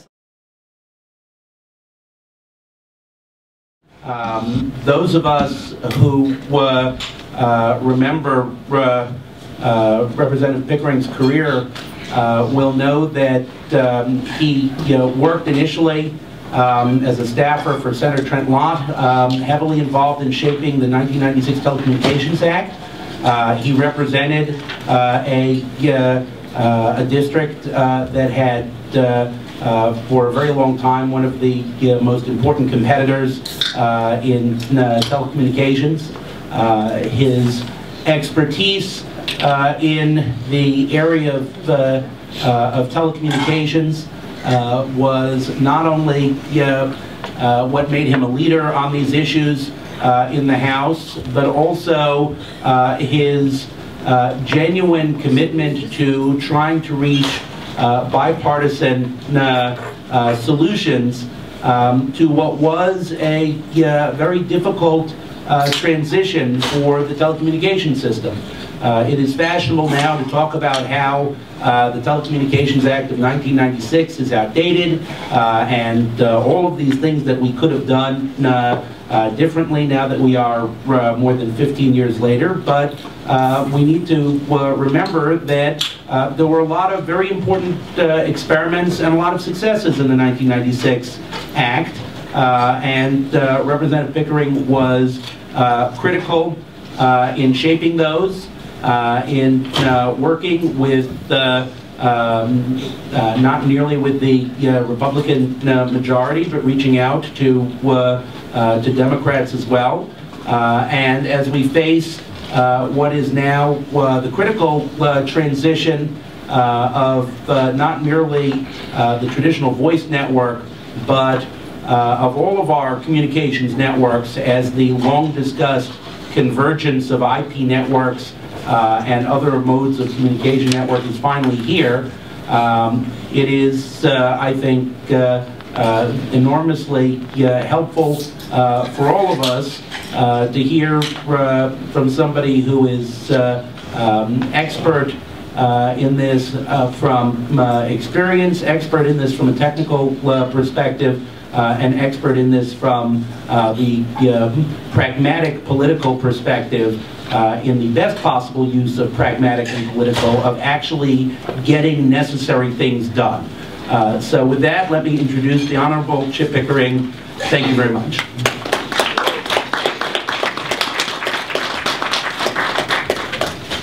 Harold, thank you, and public knowledge, I, I want to express my appreciation for the invitation to join you today uh, and to talk about something that is that is very important uh, to our uh, future economy, and, and I want to talk in a little bit of what is at stake, why it matters, and put it in as much context uh, as I can.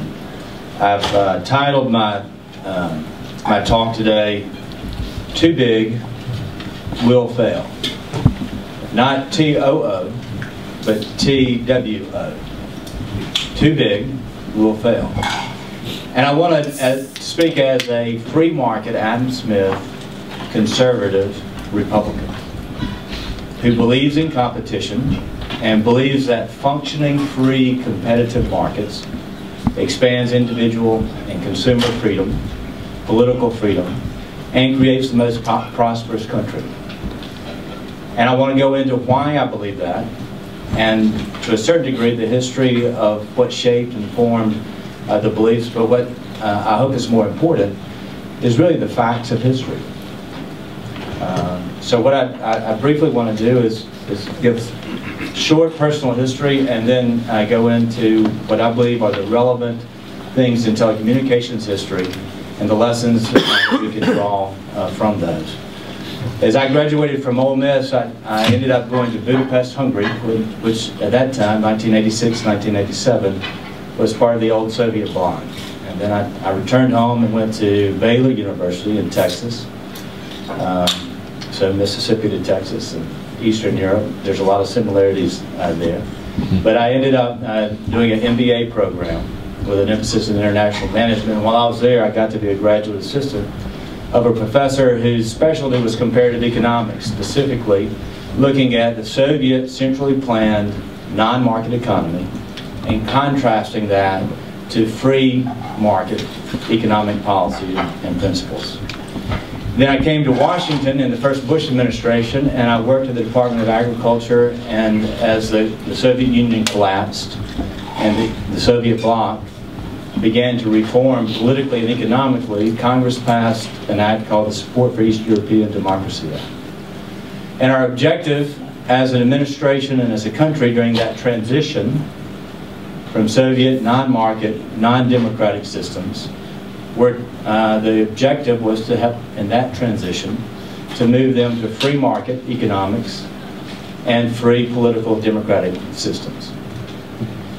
And so as uh, I worked there for two years, and then I, I joined Lott's staff in 1991.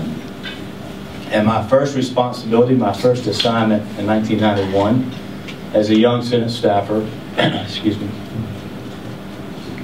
was to help uh, bring about a free market, a more free market policy in, in energy. We were working on the 1992 Energy Act, and as you all know, monopoly a model, non-market economic policy in the United States, much of uh, our large sectors of our economy were not free market. Even uh, in the, the land where we think free market economics rules.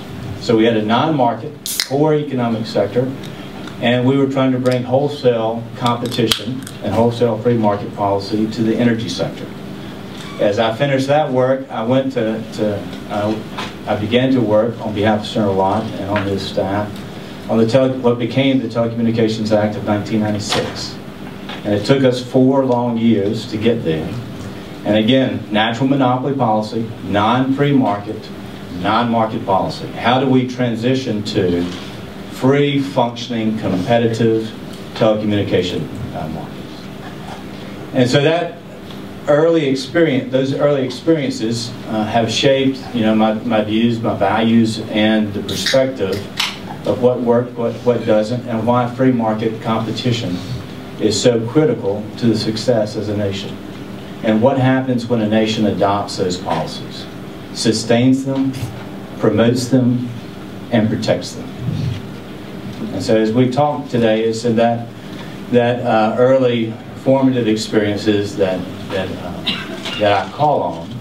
You know, at the same time as um, I was working on uh, the Telecommunications Act in 1995, as we got it through the Senate, uh, the congressman that represented my district retired, uh, Sonny Montgomery, and I uh, entered the race in the fall of 1995 before the final passage of the 96 Act, but to, to run for Congress. And I, I like to say um, affectionately and jokingly that I went from being a Senate staffer to running for Congress, becoming a member of Congress, and losing all my power and influence from when I'd been on the, uh, but what I, uh, as I, I, became a member of Congress, one of the great uh, privileges is to give tours through the Capitol, and I would often take school groups. And as I was giving them a tour, I would uh, talk to them about you know different things that define us as a people, as a country, and our history. And I would use uh, five flags that either by congressional action or by presidential action fly 24 hours a day, seven days a week. They never come down. And they're in places that are the defining moments in American history. And they define something specific and special about the American character. And, and uh, as you're thinking, okay, what are the five flags? Where are the five I, I would always ask the, the, the class and the, the students and my sons, can you name the five flags that fly 24 hours a day, seven days a week? Now the first flag is at Fort McHenry. So 1812, a new entrant on the world stage is challenged by the powerful incumbent. And the question was, would we survive? Would our flag come down? Would this commitment to freedom and democracy continue? Well, we defined ourselves at that, that very early stage in our history is that nobody's going to make us back down, no one can make us quit, and we're not going to, to give in. And then if you look at the other uh, defining uh, moments, and those flags, one's not even on this earth, it's on the moon, defining our spirit of exploration, discovery, experimentation, the quest for, for learning, the quest uh, for knowledge, that always kind of the pioneer exploration, discovery character of our, our nation. The next flag is, uh, is a little bit different, and that is at Pearl Harbor. So not only would we defend in 1812 our own freedom, but at Pearl Harbor is the flag that defines that as a nation we would defend the rights and the freedoms of the rest of the world. And that we would help maintain free people anywhere that struggle occurs. Not always, not consistently, but it is a defining, proud moment of American uh, history. Now the, the fourth flag is, is near and dear to all of our hearts. It's here in the Capitol. It flies over the Capitol, the, the, the flag of democracy and political freedom, and it never comes down. Uh, the fifth flag is at the tomb of the unknown soldier. So the flag of sacrifice to maintain the beliefs, the freedoms, and what we hold dear. So those are the five flags. If you were to look at telecom history, and, and I, have given this talk and, and made this point, I really believe that there are three defining, you could, you could take issue with the three defining moments, but I believe that there are three great acts in our lifetime that have had more economic impact, expanded more freedom, created more wealth, more investment, more innovation, more jobs, more political freedom than any other three actions in domestic policy of any other three in our lifetime. Now that goes back for me 50 years. Most people would not name these three. Most classes would not name these three. Most people in this room might not have thought of these three. But I would, I would propose that the breakup of AT&T in 1984 and what happened after that, we would have copper networks and we'd have the old system. But we wouldn't have had the, the, the great expansion economically and technologically of what we've known the last 30 years. Second Great Act, 1993, two World War II generation members of the Senate, uh, some of the oldest members of the Senate, did something unexpected that changed what I, I believe is economic history as well. They stopped a duopoly policy in wireless and they adopted a competitive auction where they said no longer are we going to have just two in a market, again, too big to fail. We are going to have a fully competitive wireless industry where you have seven per market. We will competitively bid and have free market auctions to determine the values and then the deployments that will come from intense competition. That was 1993, first auction 1994. We're 19 years later, and look at what the world is in the wireless networks and all of the applications and the devices and what has happened in the mobile world. It's changed our economy, changed the way we live and work. It had a dramatic effect. And the investment came and was driven by competition just as the fiber infrastructure, the wireless infrastructure and the fiber infrastructure and backbones of our nation came when we did what? We adopted competitive policy. The third great act is when we adopted in 1996 a fully competitive free market approach instead of a monopoly-based policy in all sectors of telecommunications.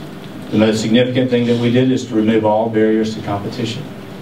Anyone could enter in any sector and anyone could compete. But the second linchpin of the 96 Act and very, very significant part of the 1996 Act was the establishment of a competitive interconnection policy. So that if you were a wireless network, you could connect to a wireline network at a fair, at a fair cost.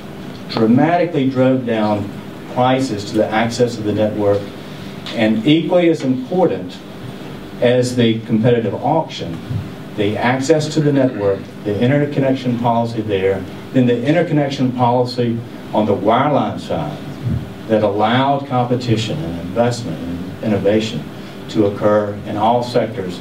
Those two things combined in the 1996 Act made a tremendous uh, difference. So those three great acts created more wealth, more innovation, more investment, more jobs than any other three economic policy issues in our lifetime. Y'all can, we can debate that, we can discuss it, but tax policy kind of ebbs and flows. Budgets and deficits and surpluses rise and fall. Healthcare we struggle with. Energy is half, kind of a half solution of competition and free markets and monopoly policy. But telecom policy that drove our economy because of competition and the introduction of competition and competitive free market forces made more difference economically, in my view, than anything else that we've done in the last 30 to 40 years. And could you imagine if we had stayed with the monopoly and duopoly policy that we would have enjoyed the economic growth, expansion, innovation, and the, the quality of life and the way of life that we have today. And it's not possible, in my view, to imagine a monopoly or duopoly policy achieving all that we have through and what we have seen through competitive policy. Now that brings us to our question uh, today posed by AT&T. We're going to a new technology, IP. We're going from TDM to a packet mode switched uh, electronics overlaying the, the network that we affectionately call the PSTN. And should we, as AT&T proposes, end competitive policy and end interconnection as we go to a new technology? Now to the first question, let me... I kind of feel like uh, Marco Rubio. that, that uh, should we transition to an IP-based network? And the clear, obvious answer is yes. The second question, should we end competitive policy and end interconnection as we move to a new technology? And in my view, the clear answer to that is no. And I want to get into that. And why I believe maintaining competitive policy uh, is so important for the future growth and the future benefits of what we have uh, in the nation. But before I, I get into that, there's some things that I would like to try to establish as common facts or common findings or a common framework. One, competition works. Two, monopoly or duopoly does not work.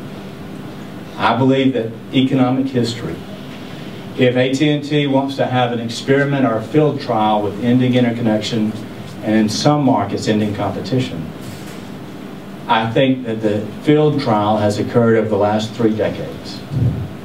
And the evidence is so overwhelmingly clear that competitive policy and interconnection are creating greater uh, markets and interconnected networks that the evidence is clear that competition works and is preferable to having a disconnected policy and in some markets a fallback to a monopoly or duopoly. So one, competition works. Two, interconnection is the cornerstone of competition. And why is that? And what are the, the examples that we have of interconnection and their interconnection policy? We have interconnection policy in transportation, our highways and interstates and local roads. We have interconnection policy in trade, our ports and our airports and other nations. We increase the market when we increase the networks of, of trade. We have interconnection in, in electricity and in grids and in independent production so that, that anybody can connect into a grid and compete for the best price of, of the power. We have interconnection in our pipelines. We have uh, interconnection in telecommunications. And what we have learned through the information age and through the internet age is that interconnected networks create the largest possible market the largest creation of wealth, the most innovation, and the most jobs. So to end it, I think would be shrinking the market, reducing investment, blocking the new entrant, limiting the entrepreneur, and having a, a negative effect on the growth of our nation. Why would we want to do that? We've had three decades of success of this policy. Why would we want to go back to the past policies promoting, favoring, and in many cases subsidizing an incumbent against the new entrant or the entrepreneur? Third, what is a functioning free market? And many people can debate this, and we have non-functioning, non-market policy that protects incumbents and subsidizes and that is not a free functioning market. So as a Republican, we need to, to say that we are going to be the party of competition, whether it is in the public sector or in the private sector, and reject uh, the old uh, views of concentration is preferable to competition. Now, um, the big part of this debate is, is really about who controls the future. What is past, what is future. Now, technologies come and go. We had copper, we had fiber, we had analog, we have digital, we have TDM, we'll have packet mode. Technologies come and go. But what is the future will always be driven by whether you, the free market forces of competition and functioning markets drive innovation, drive investment. So our objective should not be to achieve some technology. The objective should be to maintain free, functioning, competitive markets. So that's the framework. Now, as we look at, um, as we, as we look at the transition that is before us in, in telecommunications policy and the telephone market, what are the principles? that we're going to favor free market uh, functioning competitive policy. That we're going to have a, a policy that promotes at least four to a market. And why does that work? And do we have recent evidence to support that? When AT&T proposed to acquire T-Mobile and taking four national carriers down to three, and continuing with a period of concentration, I believe that the FCC and the Justice Department rightly stopped that merger. And look at, eh, look at what is happening and, and look at the result today. One, SoftBank has invested more into the U.S. economy and has partnered with Sprint. They entered, invested, and they're building a 4G network. T-Mobile is strengthening. They're partnering. Their FCC adopted, and the, the courts have sustained data roaming. And that allows, whether it's a new entrant or a regional company or all the other competitors in the market, to exchange traffic, to interconnect. They can do it on commercially negotiated, but there's a backstop that there's going to be interconnection on the wireless side. And that achieves a functioning, seamless, competitive market. All of those things are, are creating a market that is stronger and healthier today on the wireless side.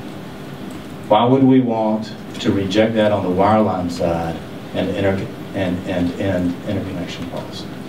I think the clear answer, both historically and recently, is that competitive uh, policy, competitive interconnection policy, is the most meaningful, meaningful way, the most minimal way, with the lightest touch possible to maintain functioning markets. And as a Republican, I hope that we reject concentration, embrace competition, that we reject Ayn Rand and reaffirm Adam Smith, that we reject the incumbent-based policies that protect and subsidize, and return to encouraging, promoting, and incentivizing the new entrant, the entrepreneur, the small business, the mid-sized business, and the, the competitive markets that help those who are in that space. If we do that, the outcome will be the same that we've had for the last three decades. We know what the outcome has been. The evidence is clear. The experiment has been enduring. And it has always increased our economic growth, productivity, efficiency, our jobs, but more importantly, and this is as all Americans, it's increased individual freedom, it's increased the consumer's freedom, it's increased the economic well-being, it's increased all the things that we care about in, in almost every case a positive way. So if we're going to plant a flag that defines a part of the American character very uniquely and distinctly, a very important part of the American character is competition because it drives the best whether you're an incumbent or a new entrant. It makes us better as a people it always delivers a better future. And so we should plant this flag of competition and protect it and promote it as we go forward.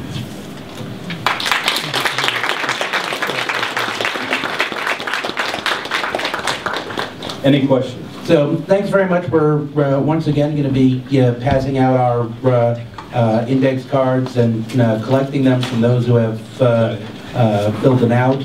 Um, uh, while we're doing that, let me ask you uh, uh, one quick question, uh, which is, uh, um, so competition is obviously very important, but uh, there were many things, as was recognized in the 1996 Act, that competition won't provide. So we had, for example, the Universal Service Statute, which was part of the of the 1996 Act because we wanted to make sure that everybody in the United States would have access to, uh, to phone service. We have consumer protection uh, in the, uh, uh in the uh, Telecommunications Act. Um, we at Public Knowledge have put out our, our five fundamentals uh, framework, which talks about competition as one of the important fundamental principles um, of uh, the transition, but also uh, lists four other uh, important uh, uh, principles as well. I wonder if you might perhaps speak to, is competition enough that if we had competition, that would take care of uh, the rest of these concerns, or do we have, uh, uh, in addition to, even if competition's the, the, the major support in the tent pole, are there other issues that we need to be uh, concerned about as well? You know, you know, my uh, view is, as, as we look at the, the principle, and, and this was a very important part of the 96 Act, was to have universal access to telecommunications services, which was maintaining, preserving a principle that goes back to the adoption of the 1934 monopoly policy. I believe competition much more efficiently achieves the universal objective, and free market forces and, tech and new technologies much more efficiently achieves the objective of, of universal access uh, and coverage on, on telecommunications. We have had USF reform uh, in the in the past, and I think uh, for the most part uh, that is going in the, the right direction. New technologies are in a state like mine, Mississippi, which is very rural. Uh, the the interesting thing is Mississippi and Arkansas. When you think of those two states, you probably think they're in the bottom half in just about every category. But there are there's one category where Mississippi and Arkansas are number one and two in the country. Y'all know what those what that would be? It is the penetration of wireless broadband in Mississippi and Arkansas. And the reason is that you had Alltel, a regional carrier, and you had uh, Cellular South, now C Spire. And they built out their, their markets from the rural to the urban. And there are two examples of where competition and where you don't have that competition, you don't have the same level of deployment and investment by all providers. Those regional carriers made the incumbents invest in their networks. There's much more competition where you do have multiple players and it covers everyone. Competition, I think, is the, the centerpiece and much more effectively achieves the universal goal. All right, well, let me, let me now take um, uh, some uh, of the, uh, the questions uh, here uh, from uh, the audience. I have one here that comes up a lot. Um, Both the at and t breakup and the at and t T-Mobile deal rejection were antitrust and not regulatory. Why do we need regulation when antitrust is there to take care of the competition issues? Could you read, repeat the first part of that? So if both the at and t breakup was done as a, as an antitrust case, and the at and t T-Mobile Yes. rejection, which was uh, pivotal in, in uh, bringing back investment uh, to the market, you, uh, you told us, uh, was also an antitrust case. So uh, is antitrust uh, going to be enough here? Can we uh, say, get rid of all of the, uh, the FCC uh, regulations and just rely on antitrust uh, to provide the necessary competition? Um, Yeah, I would, uh, I would say, one, that there were, those are two cases that were both decided on antitrust basis, and that they were correct cases. But like a physician who would prefer to have pre- preventive medicine versus after the fact, much more costly, much more disruptive uh, treatment, you know, a minimal competitive rule that opens markets and allows for functioning competitive uh, options and opportunities is interconnection. And if you maintain that in a smart, strategic, restrained way, some markets is, is, is applicable that there's an obligation. Some markets, it's not. Some markets are competitive and there's willing buyers and sellers, and we need to look at it market by market. But wherever we can, either by the 96 Act and sustaining and promoting that and carrying it through all of the different generations of technology, uh, we should because it would, it would prevent us from taking an antitrust action, which will always be more disruptive to the economy and to the businesses. And it is a minimal way to maximize the objectives that we have as a country, and that is around investment, innovation, jobs, consumer benefits, and the individual benefits. So just to, uh, I guess, uh, play on that for a second. So when we look at, say, the breakup of AT&T in 1984 and then the passage of the Telecommunications Act in 1996, how would you compare the disruption uh, as opposed to, say, the benefit? Do you think that, for example, the 1996 Act was a smoother uh, transition? Was it more disruptive than the AT&T breakup, or uh, um, was the uh, uh, was the AT&T breakup really kind of the, the the thing that did it, and then the 1996 Act was just sort of an add-on? Well, the, the, uh, without the 1984 uh, antitrust action, we would not have had the 1996 Act. But this is where I believe the 96 Act is preferable and superior to antitrust, and that we created a framework that is flexible over time. It has forbearance. It has uh, ways to look at markets that whether they're functioning or not functioning, and to adapt and adjust over time. Antitrust uh, it does not have that uh, flexibility. You come in and the, and the remedies are usually, and the cases are long and costly, and the remedies are, are disruptive. Where if you have a predictable and certain framework that says, one, we're going to promote universal access, we're going to promote competition and free markets and functioning markets, and we have these objectives and everyone knows what they are, everyone knows the rules of the road, and that it can adjust with new technologies and adapt, then I think that's a good example of public policy. And this is, um, and I didn't get to say this in, in, in my talks, and I, uh, in my talk, and I, and I meant to. We need to reestablish the bipartisan consensus around competitive telecommunications policy that existed for three decades. We had a bipartisan commitment that we're going to reject monopoly policy and we're going to promote competitive free market policy. Now, it's not perfect, but that's been the objective. And it was supported by Republicans, Democrats, Republican presidents, Democratic presidents. It was Reagan's Justice Department that brought wrote the AT&T. It was Republican Congress that did the 96 Act, signed by Democratic President Bill Clinton. And it was across the board.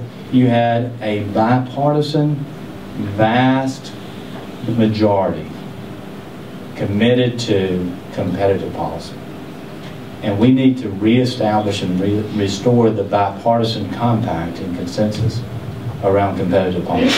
How does the uh, uh, elimination of the PSTN or the transition of the PSTN deal with 911 uh, services? Yeah, that's one of the things that the FCC and many of the comments, if you look at the comments that have been filed in response to the AT&T uh, petition, is how do you do that? And we've done that successfully, and I had the good fortune when I was in Congress to work. As if you have a VoIP provider or IP-based uh, service, how do you maintain emergency services and first responders and 911. Uh, so I think that that can be dealt with in the transition appropriately. The other thing that we need to, to realize, and as someone from Mississippi and who lived through Katrina, the great thing about competitive policy versus monopoly or duopoly policy is that you have multiple networks. What do multiple networks give you when they're interconnected and when they're interoperable? It gives you redundancy.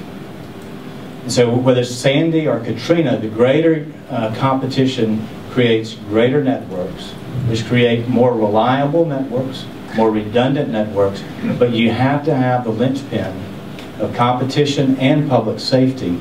What is that linchpin? Interconnection, interoperability. Uh, I don't know if we have any other uh, um, questions uh, from the floor, but um, let me ask, uh, I think, one more question. We're seeing now uh, a lot of action in the states where you have a lot of state legislators that are um, saying we should just eliminate regulation of the of all IP services and IP-based services.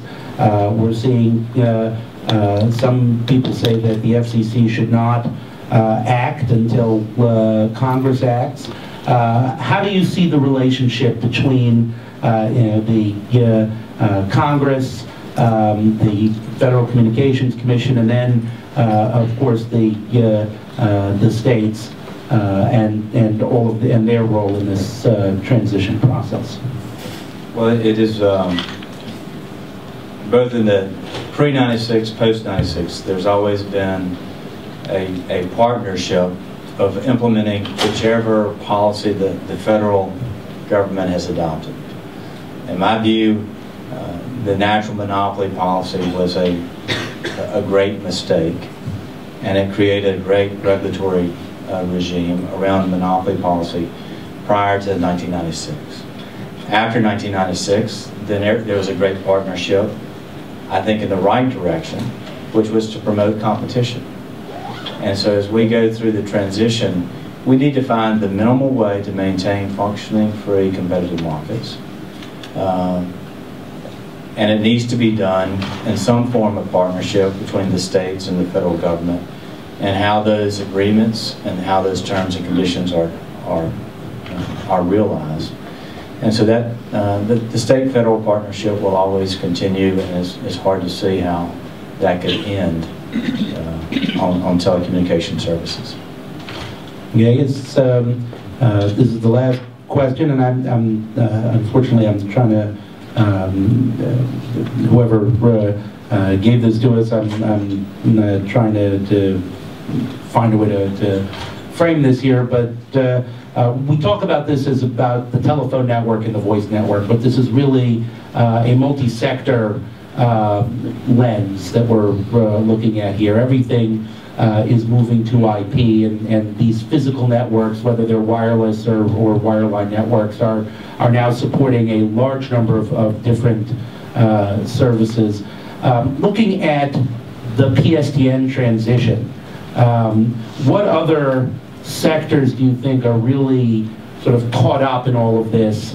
Um, how do we uh, um, you know, uh, make sure that uh, uh, these different uh, uh, sectors of the economy that we've traditionally thought of as being very different are sustained and, and hopefully expanded um, by the transition of what we think of as the telephone network to being the IP, the all IP network. Yeah, you know, we, we want to see AT&T modernize their network uh, to go from you know, a copper to an IP network. Most of the competitors, or almost all the competitors, are already IP. And most of their networks, you know, the long haul, the long distance, the, the middle mile, the, the rings, uh, much of the direct access, uh, dedicated facilities, those are IP fiber based. If you look at what the competitors have done, uh, they always, incumbents do many things well, they don't innovate very well. The competitors brought voice over internet, DSL, they're bringing Ethernet, cloud-based uh, services. And so we, we want you know, everyone to be able to, to transition and, and compete on that and to, and to facilitate that. Uh, I think that there are limited things you can do that, that currently exist if you just extend them uh, into the IP world. That again, it's not technology, we should be technologically neutral. One of the principles of the Act, core principles of the Act, we should be competitively neutral. Those types of, of things have helped us, in, in most cases, not all cases, uh, get the answer right as we make these different transitions.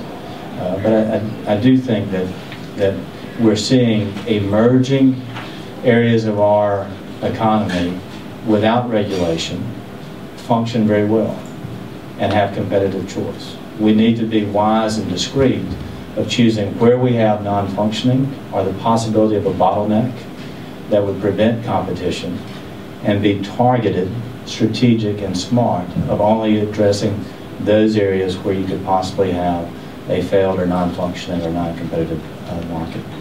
And I, I, think the, the incentives uh, are in place for us to get to a transition without sacrificing competition or the targeted interconnection that works.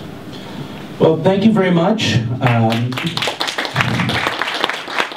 this is uh, a, a, only the very beginning of uh, the discussions uh, around this, I'm sure, which will cause some groans for people who've been having these discussions for the last several years, but now they're hopefully kicking into high speed. So uh, thank you for uh, sharing uh, your thoughts with us, and um, I'd like to ask the next panel to come forward, please. Uh, and is one of the most uh, provocative uh, speakers, particularly from the libertarian perspective on copyright reform. Uh, next to Tom is the person I call the uh, mother of copyright reform advocacy, and that's Pam Samuelson, who really doesn't really need introduction.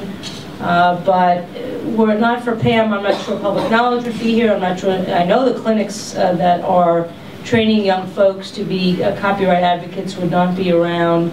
Uh, she really kind of started it all, and she's continuing, uh, continuing her advocacy in big and little ways, both through her, her law reviews, her writings. She is a professor at, uh, at uh, Boalt Hall, which is the Berkeley Law School, for those of you who don't know. Uh, but also, she was really critical in bringing academic authors together to fight um, uh, the Google book settlement, which many of us, including public knowledge, thought was anti-competitive. And I believe the judge mentioned uh, the authors prominently in his decision to strike down that settlement.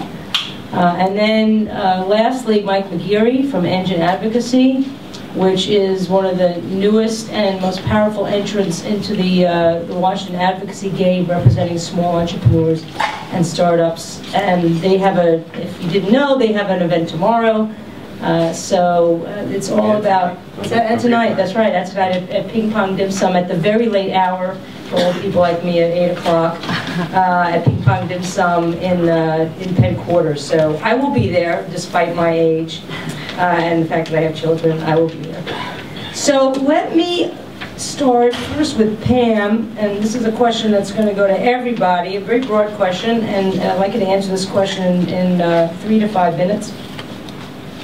Why do we need copyright reform in the U.S.? Isn't everything just peachy? so we'll start with Pam and then we'll go to Tom.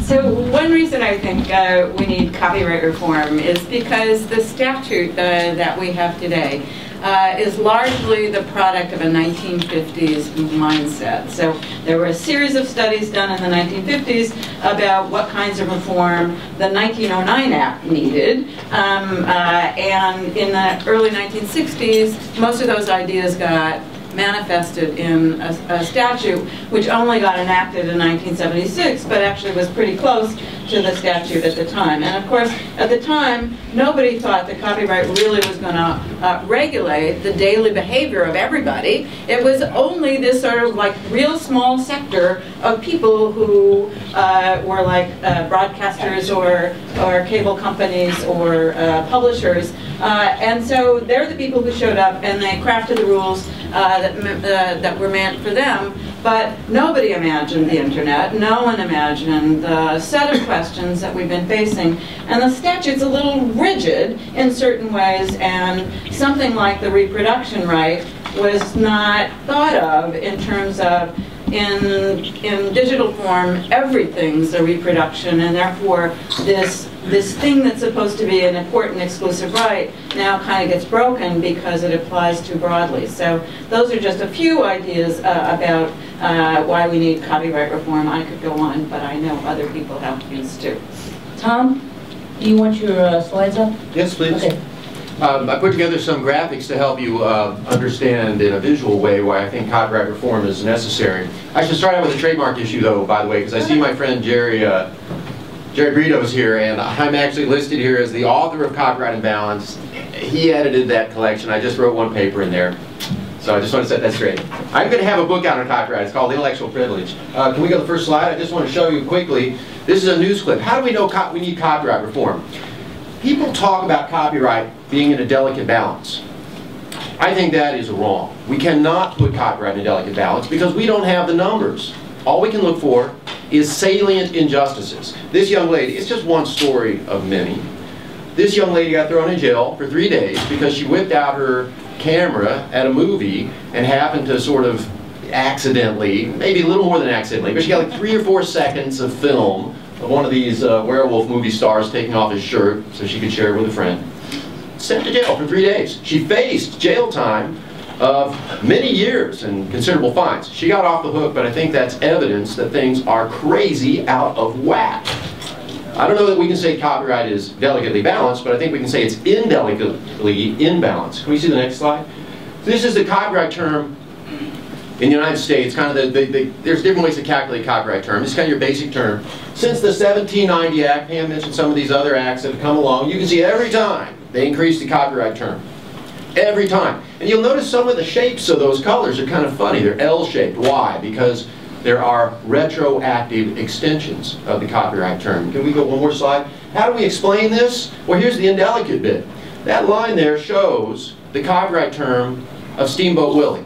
Now, it so happens, I think Steamboat Willie is in the public domain. Check out my book, I talk about this at length. I'm not the first person to discover this, although I don't think enough publicity has been given to the to me fact that Steamboat Willie is not copyright protected. They didn't satisfy the formalities, the stringent formalities of the 1909 Act.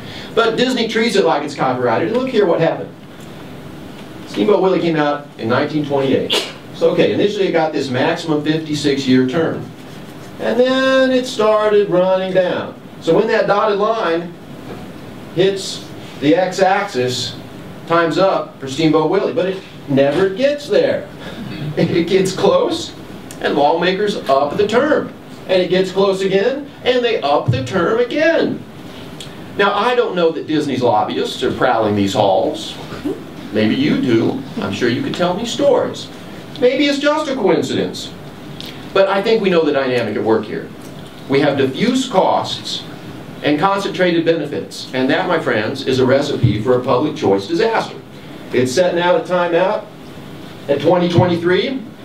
Your guess is better than mine as to whether or not it'll get extended again, but the public choice dynamic suggests that it'll happen again unless we reform copyright, and it's just going to get more and more indelicately imbalanced. Thank you. Great, why don't we uh, go to Erik? Why do we need copyright? Sure. So I mean, there's a there's a lot of things that that we uh, as Reddit think about doing ourselves, or things that we just see in the sort of online ecosystem, especially around communities where there's real opportunity for innovation. Um, and, and you know, we it's a pretty amazing uh, place that we're in. I mean, Reddit is a company of I think uh, now 22 people, and we have a, a, site that's in the top 150 in the world. And whether you like Reddit or not, it's pretty amazing that uh, you know a site run by that few uh, amount of people and run by that little amount of money can can reach such a broad amount of people. But there's all kinds of other places where something like Reddit um, or, or Reddit itself could get into and where uh, innovation could happen, but we're, we're sort of hamstrung by this, this you know, sort of analog copyright mindset and, and legacy and, and by you know, constant uh, uh, harassment and constant sort of abuse of some of the existing copyright laws. Mike? Um, in, in a lot of the same way that I think Erik's framing this, what we look at with Engine is not even so much the companies that are out there right now, the kind of you know, we can talk about user-generated content, some of these, you know, other sites that are growing on the internet and products that are being built in companies. And the thing is, we know that the copyright law as it exists doesn't work for those companies, but what about the ones we haven't even thought of yet? It's, it's the next step in this process. What is going to be the next Google or Facebook or Reddit or pick an app on your iPhone? What's going to be the next iPhone? I mean, all, all of these things. What's coming down the pike? is what's most concerning about where the you know the regime is right now because it already doesn't work. If we're if we're going to get serious about it, we have to start really taking a look at what we can do now to avoid the problems we see in the marketplace today from coming back and you know getting even worse down the road. So that's in in our view, that's exactly where we need to be on copyright. We need to move the, the debate forward. Gigi, before we move on yes. tonight, uh, just mention, I actually uh, brought with me some copies of a, a Copyright uh, Principles Project report. Um, uh, in 2007, I put together a kind of private copyright reform effort myself, and I had representatives from Warner Brothers Entertainment, from Disney, from IBM, from Microsoft, uh, some practicing lawyers, as well as some law professors. And we got to, together and we said, is there, does, is copyright reform needed? And I was astonished at how many problems uh, people who were full-time copyright professionals thought that there was with the law. Um, and so we have in this report a set of principles that we think would govern a good copyright law. We then measure the existing copyright law by whether or not it matches up and in what respects it falls short. And then we have a set of recommendations, 25 recommendations for reform that should be considered. Uh, so I'll leave copies of that out on the table in case people would like to. So there's actually consensus, because you took one of my, my follow-up questions away. There's actually consensus around some of the things that were wrong. It wasn't just the copyright reformers thought it was too strong and the, and the copyright industries thought it was too weak. Yes. That's interesting. Good. Okay, well, let me ask my next question, which is a two-part question, and I have a prop. So the first part of the question is if, if you were, and you can wear this if you want, it belongs to my daughter, so it doesn't, it's, it's kind of snuggly. If you're the absolute monarch of the United States, what kind of copyright law would you mandate? So in other words, what would your ideal copyright universe look like, or copyright country look like? So if you were the monarch, that's, the- that's the first part of the question. And the second part of the question is, unfortunately, you're not the absolute monarch.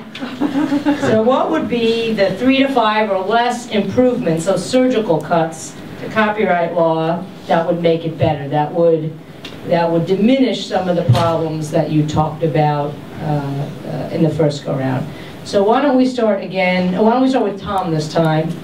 You want the, you want your, Oh, uh, okay, great. Are we only doing the uh, monarch question? Either one, well, it's both. Okay. You Answer both, and, uh, or either one if you don't feel comfortable. Because the second, the second question really kind of gets at what are the, some of the specific changes to copyright law uh, that you'd want to make. But uh, the first part of the question is, you know, if you were God or you were the monarch, you know, and you got to start a copyright regime from square one, if you believe there should be a copyright regime, uh, protection of intellectual property, what would it look like?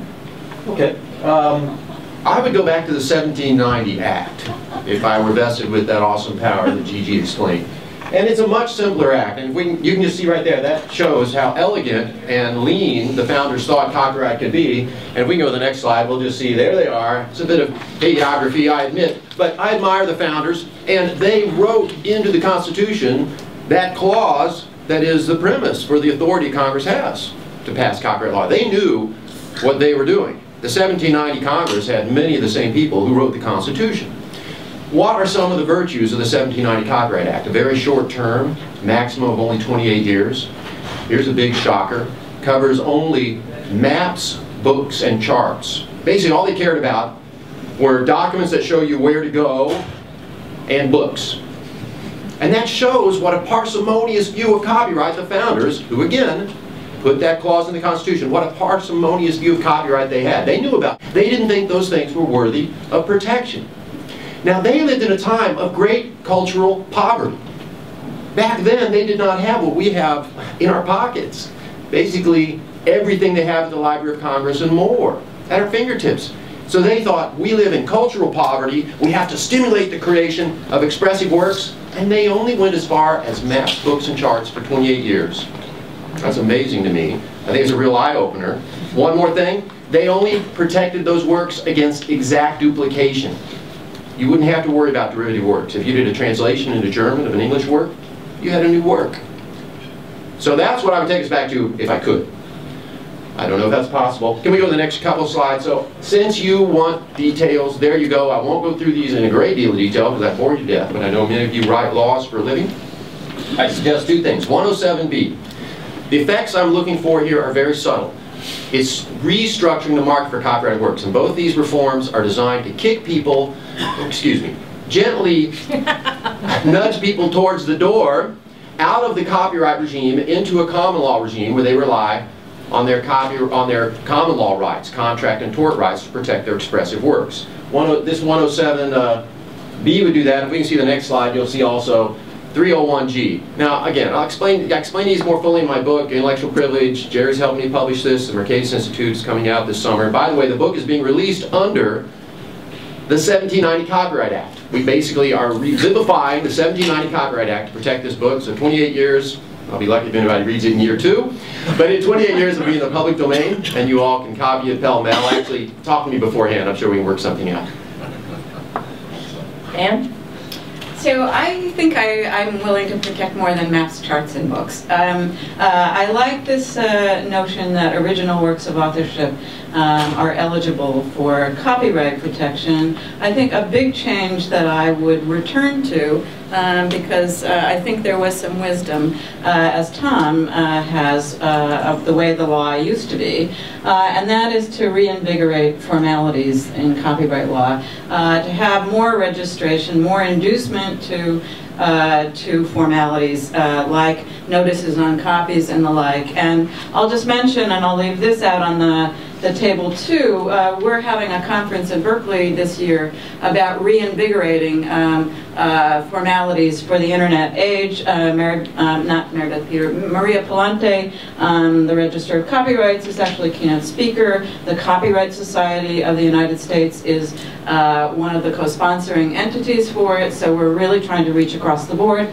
We have a number of people from Europe about it uh, to uh, come and talk about it. And interestingly enough, uh, the Europeans right now are more interested in formalities uh, than they have ever been before. And so I think that, you know, the idea that you opt into copyright uh, by uh, registering your claim uh, is something that's a, a good uh, part of copyright law that we had in U.S. copyright law until 1989. So for uh, almost 200 years we had an opt-in system and that seems to me to be uh, a really good feature of, of a good uh, of a good copyright law, which isn't to say that um, today I would say that if you don't register or you don't put notices on that it should necessarily fall into the public domain. Part of what we're trying to do is think creatively about what kinds of um, what kinds of uh, baselines should there be, and then what benefits do you get if you engage in formalization.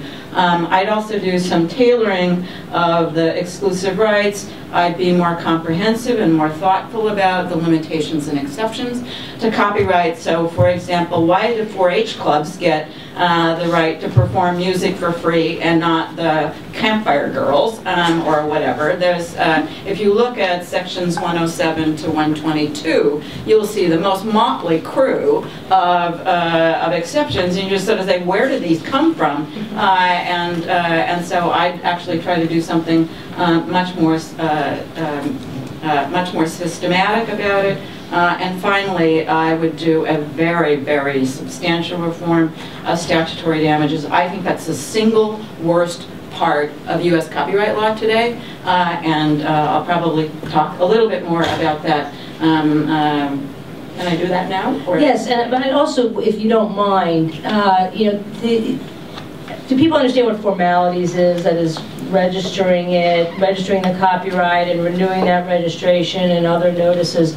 But the, the, the, response to that, when you talk about that as well, we're, we're parties to the Berne Convention, so therefore we cannot reinstitute formalities. So finish what you were going to say, and then if you can answer my question, how do we get around the Berne problem, if indeed it is a problem?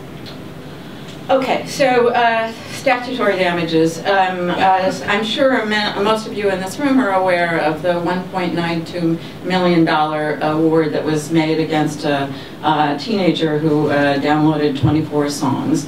Um, this is made possible by uh, the U.S. statutory damage regime, which creates a baseline of $750 per infringed work uh, as a bare minimum and up to $150,000 per infringed work. Um, and uh, uh, while I think it's just grossly uh, excessive uh, as applied to this uh, particular file share, uh, what worries me more is that any company, any tech company that's trying to actually make some platform for looking at large number of works are basically facing an enormous risk of statutory damages, even for secondary infringement. That is to say, they may not be infringing themselves, but if they're charged with secondary infringement by facilitating the infringing acts of others, uh, they face gazillion dollars of, uh, of statutory damages. Even uh, Google bet the company on the uh, on the, the um, uh, on it, with its Google Book Search project, um, they're facing as much as $3.6 trillion in statutory damages for something which, from my standpoint, has uh, caused no actual injury to any author uh, and has brought no profits to uh, to Google. And so the idea that $3.6 trillion um, is hanging over their head is really something very, very deeply disturbing. I've been doing a study recently about statutory damages on, uh, on the international scale. And one thing I found is that only 14% of the uh, countries in the world have statutory regimes, and they all have much more and more sensible limits on their statutory damage regime than we do. Um, and that's a place where I think reform is really, really needed for tech companies, for innovation, for internet companies. Um, that's where I think there's a kind of stranglehold on, uh, on innovation and we'll, we'll hold the Berne question until later, but I'm sure Mike and Eric uh, would have a lot to add about how statutory damages uh, affect speech, how they affect innovation. So why don't we start with Mike and then we'll go to Eric. Well, uh, you know, on the on the statutory damages question, I think that's something we absolutely have to be cognizant of changing when you can get a $150,000 fine for downloading a song or whatever. It's, it's completely insane, especially moving into a situation where the younger generation of music consumers don't understand and will never understand probably what it means to own music. They think it comes over YouTube or, in a best case scenario, Spotify, um, you know, or Rdio or one of those services. Or, but it's freely available. You, you don't build a record collection anymore. Um, things like that. So there's there's that aspect of it. Uh, I will say that uh, ours will be a benevolent dictatorship, um, but uh, you know, I, I think that it would it, we'd build a copyright regime that you know looked a lot like Derek Khanna's RSC paper. Could you be a little more specific? I mean, it, it basically rethinking with market influences and aspects what we could do for copyright, looking at things like the Copyright Act of 1790, which I think is actually a, a, a pretty good baseline to start as rebuilding a regime that's been taken over by um, the deep-seated interests in this town and, and throughout the country that have seen to it that uh, Tom's very colorful chart keeps, you know, sliding ever further and higher to the right. Um, so, uh, you know, I, I think that we have to just totally look at how to rethink and rebuild that system. And, and you know, tear it down, build it again, do that, do all that. Because, I mean, as I said in the beginning, and, and as I often say at these things, as the much more learned people to my right have already been saying, like, we're, in a system that doesn't work. We need um, we, we absolutely can't go forward, as, you, as Pam rightly pointed out, with a stranglehold on innovation because of a system that was built for people that bought records, you know, or conceived of owning, you know, a, a VHS tape, much less a DVD. You know, that, that, not, not just having access to a library. It, it's time to rethink what it means to have your protections in place, for sure, in, in some way, but understanding that we've got this great thing called the internet that makes it better, faster, and stronger for all of us to experience all of this culture so much in, in, with so much more breadth and depth than we ever could before. And the last point that, that I'll make on this is, you know, I have a day job as well. I'm, I'm a strategist for the Venture Capital Fund in San Francisco. And we work with real early stage, real leading edge kinds of companies.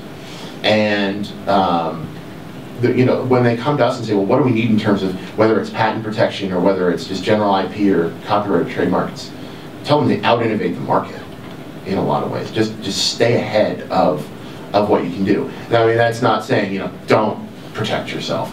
But if you continue to build products that work from an entrepreneurial standpoint and that lead markets rather than become part of a market and change markets, all the protections in the world won't amount to much because you'll just be better than everybody else. And they'll be 18 months behind you, whatever you want to do. So innovation is the real key here. We need to build a system around that.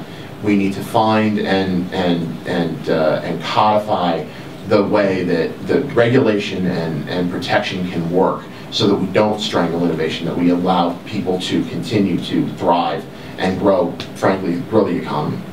So Eric, I, I trust that uh, your uh, perfect copyright world would include some DMCA reform. Yes, um, and definitely, definitely shortening, shortening terms, shortening the uh, damages. Uh, the other big components I would add is an actual penalty for abuse. Um, and, because right now there's basically none. And that all the data around that would be uh, public. So I, I don't know if that gets into formalities, but, you know, we uh, uh, file a whole bunch of uh, really bad DMCA takedown notices that at least you're going to have to do that publicly where you can be uh, scrutinized for it uh, in the court of public opinion, if nothing else. Um, you know, the, the other thing that I'd like to see if, if I were wearing the, the crown is, is and, and, it gets more complicated depending on, on, on, the medium, but uh, is, you know, that the original creators would have to have more, you know, they, they would have to basically sign their names to, to you know, before, any, before anyone is sued for, uh, uh, uh, you know, these kind of damages. So they would have a little more say, whether it's the, you know, the, the 15-person game publisher that made the hit uh, app or game or, or tablet magazine or movie or whatever that is, that they would have to have some way to say, like, look, we, this is my creation, this is my idea, this is my story, and I don't agree to it being used this way. Because when we actually talk uh, to the actual content creators, not the distributors, not the trade lawyers, but the actual content creators, most of the time they, they're on the side of their fans, they're on the side of innovation. So some sort of way for them to express that if they so choose to.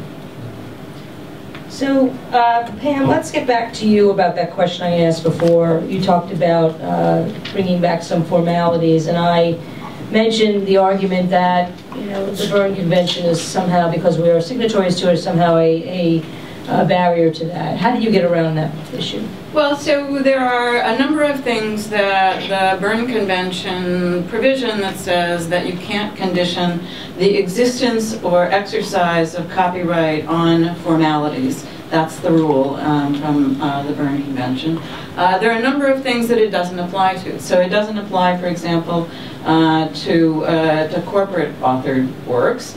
Um, and uh, second, we already have uh, formalities that apply only to U.S. authors. so that, for example, in order to bring a lawsuit for copyright infringement, an American author has to file a registration with the U.S. Copyright Office. And also, if you want to get statutory damages or attorney's fees, you need to register your claim of copyright. Um, and you can only get them sort of if you file promptly. Uh, and so those are existence of, uh, of formalities already in U.S. law, and we can do to our own citizens whatever we think is actually a sensible thing to do. Um, and so the Berne Convention doesn't require us not to do that to ourselves. It just means that formalities would not be uh, applicable um, to, uh, to foreign nationals' works. Uh, and so we, we already do that for the sort of the filing of the lawsuit. Uh, a foreign author can bring a lawsuit without having uh, registered claim of copyright. And so um, there are, I think, a lot of things that we could do that, as long as we think it's a sensible thing to do, and I think formalities make a huge amount of sense, um, uh, we can do a lot of things within the Berne framework. But also there is, I think, an international conversation starting about whether or not we should change the Berne Convention in this respect. And here's a really important thought that um, uh, has now been expressed in a book by a young Dutch scholar. Uh, his name is Stef van Gompel. Uh, he's written a book about the history and philosophy of formalities, and many of us think, oh, the Europeans, they never like uh, formalities. Um, um, uh, it's a content industry biting back. I was going to say they're coming for us uh, that they're against formalities and that the Berne Convention um, uh, is completely inconsistent with having formalities. And that turns out not to be true. It turns out to be the case uh, that the, his the history shows that the reason the Berne Convention adopted a no formalities rule was because at the time it was so difficult, cumbersome, expensive to comply with the formalities rules of each individual country because you wanted to start getting international trade in copyrighted works. It was just too burdensome. What we have now is a situation in which all those burdens can easily be overcome because we can all use the internet. So the World Intellectual Property Organization is starting uh, an investigation of formalities. In a number of European countries uh, are beginning to develop registries and registry systems that will distinguish between things that are registered and things not registered. So we're actually in the United States a little behind the curve, but I'm going to try to change that through my conference. So if you want to know about it, we'll be on the internet. Tom, do you have anything to add about formalities at all? And then if, if, if you do, and even if you don't, I would like you to walk us through your specific, you kind of zip through them, your specific uh, Oh, okay. uh, prescriptions for reforming the surgical cuts. Sure. You asked me about formalities? Yes, do you have Oh. anything to add to what? I was delighted to hear uh, about your, your work. Uh, Professor Samuelson's doing the, the Lord's work there, as far as I'm concerned. Keep it up. I would say, though, I don't understand why we have to stay in Bern. I know that sacrosanct almost every copyright scholar I've ever talked to. But here's the problem I have with Bern. What's Bern designed to do? It's designed to open up foreign markets to domestic authors and copyright holders, right? So they get more money from overseas sales when we accede to Berne. Okay, I have no problem with that. But when that happens, we should be ratcheting down domestic protections. Assuming we have achieved some sort of balance, even if it's not delicate, some sort of balance in copyright. We're saying, public, we're taking from you some of the rights you would otherwise have to copy these works. We're going to give to these authors and rights holders these, these special privileges because we want to stimulate their production of these expressive works. Well, look, if you're going to increase the awards given to creating expressive works, you can lower the amount of protection you afford. And that never happens with Bern. It's always, as you've seen with the, it's the same thing with, that we saw with the term. Its protection's always ratchet up, ratchet up, ratchet up. So I think we should consider leaving Bern. But I'll stop with that. That's radical enough. You want to hear about Would this? you mind, yeah, Okay. walk us through, you want to go back one? Sure. Yeah, let's go back one. So here the idea is very simply that if, well, let me back up. Here's what you can do under copyright now. You can license your work to someone and say, by clicking OK, you're giving up all your fair use rights. By clicking OK, you are giving up the right, for example, to criticize this work in public. Now, this is not very common, although it does happen.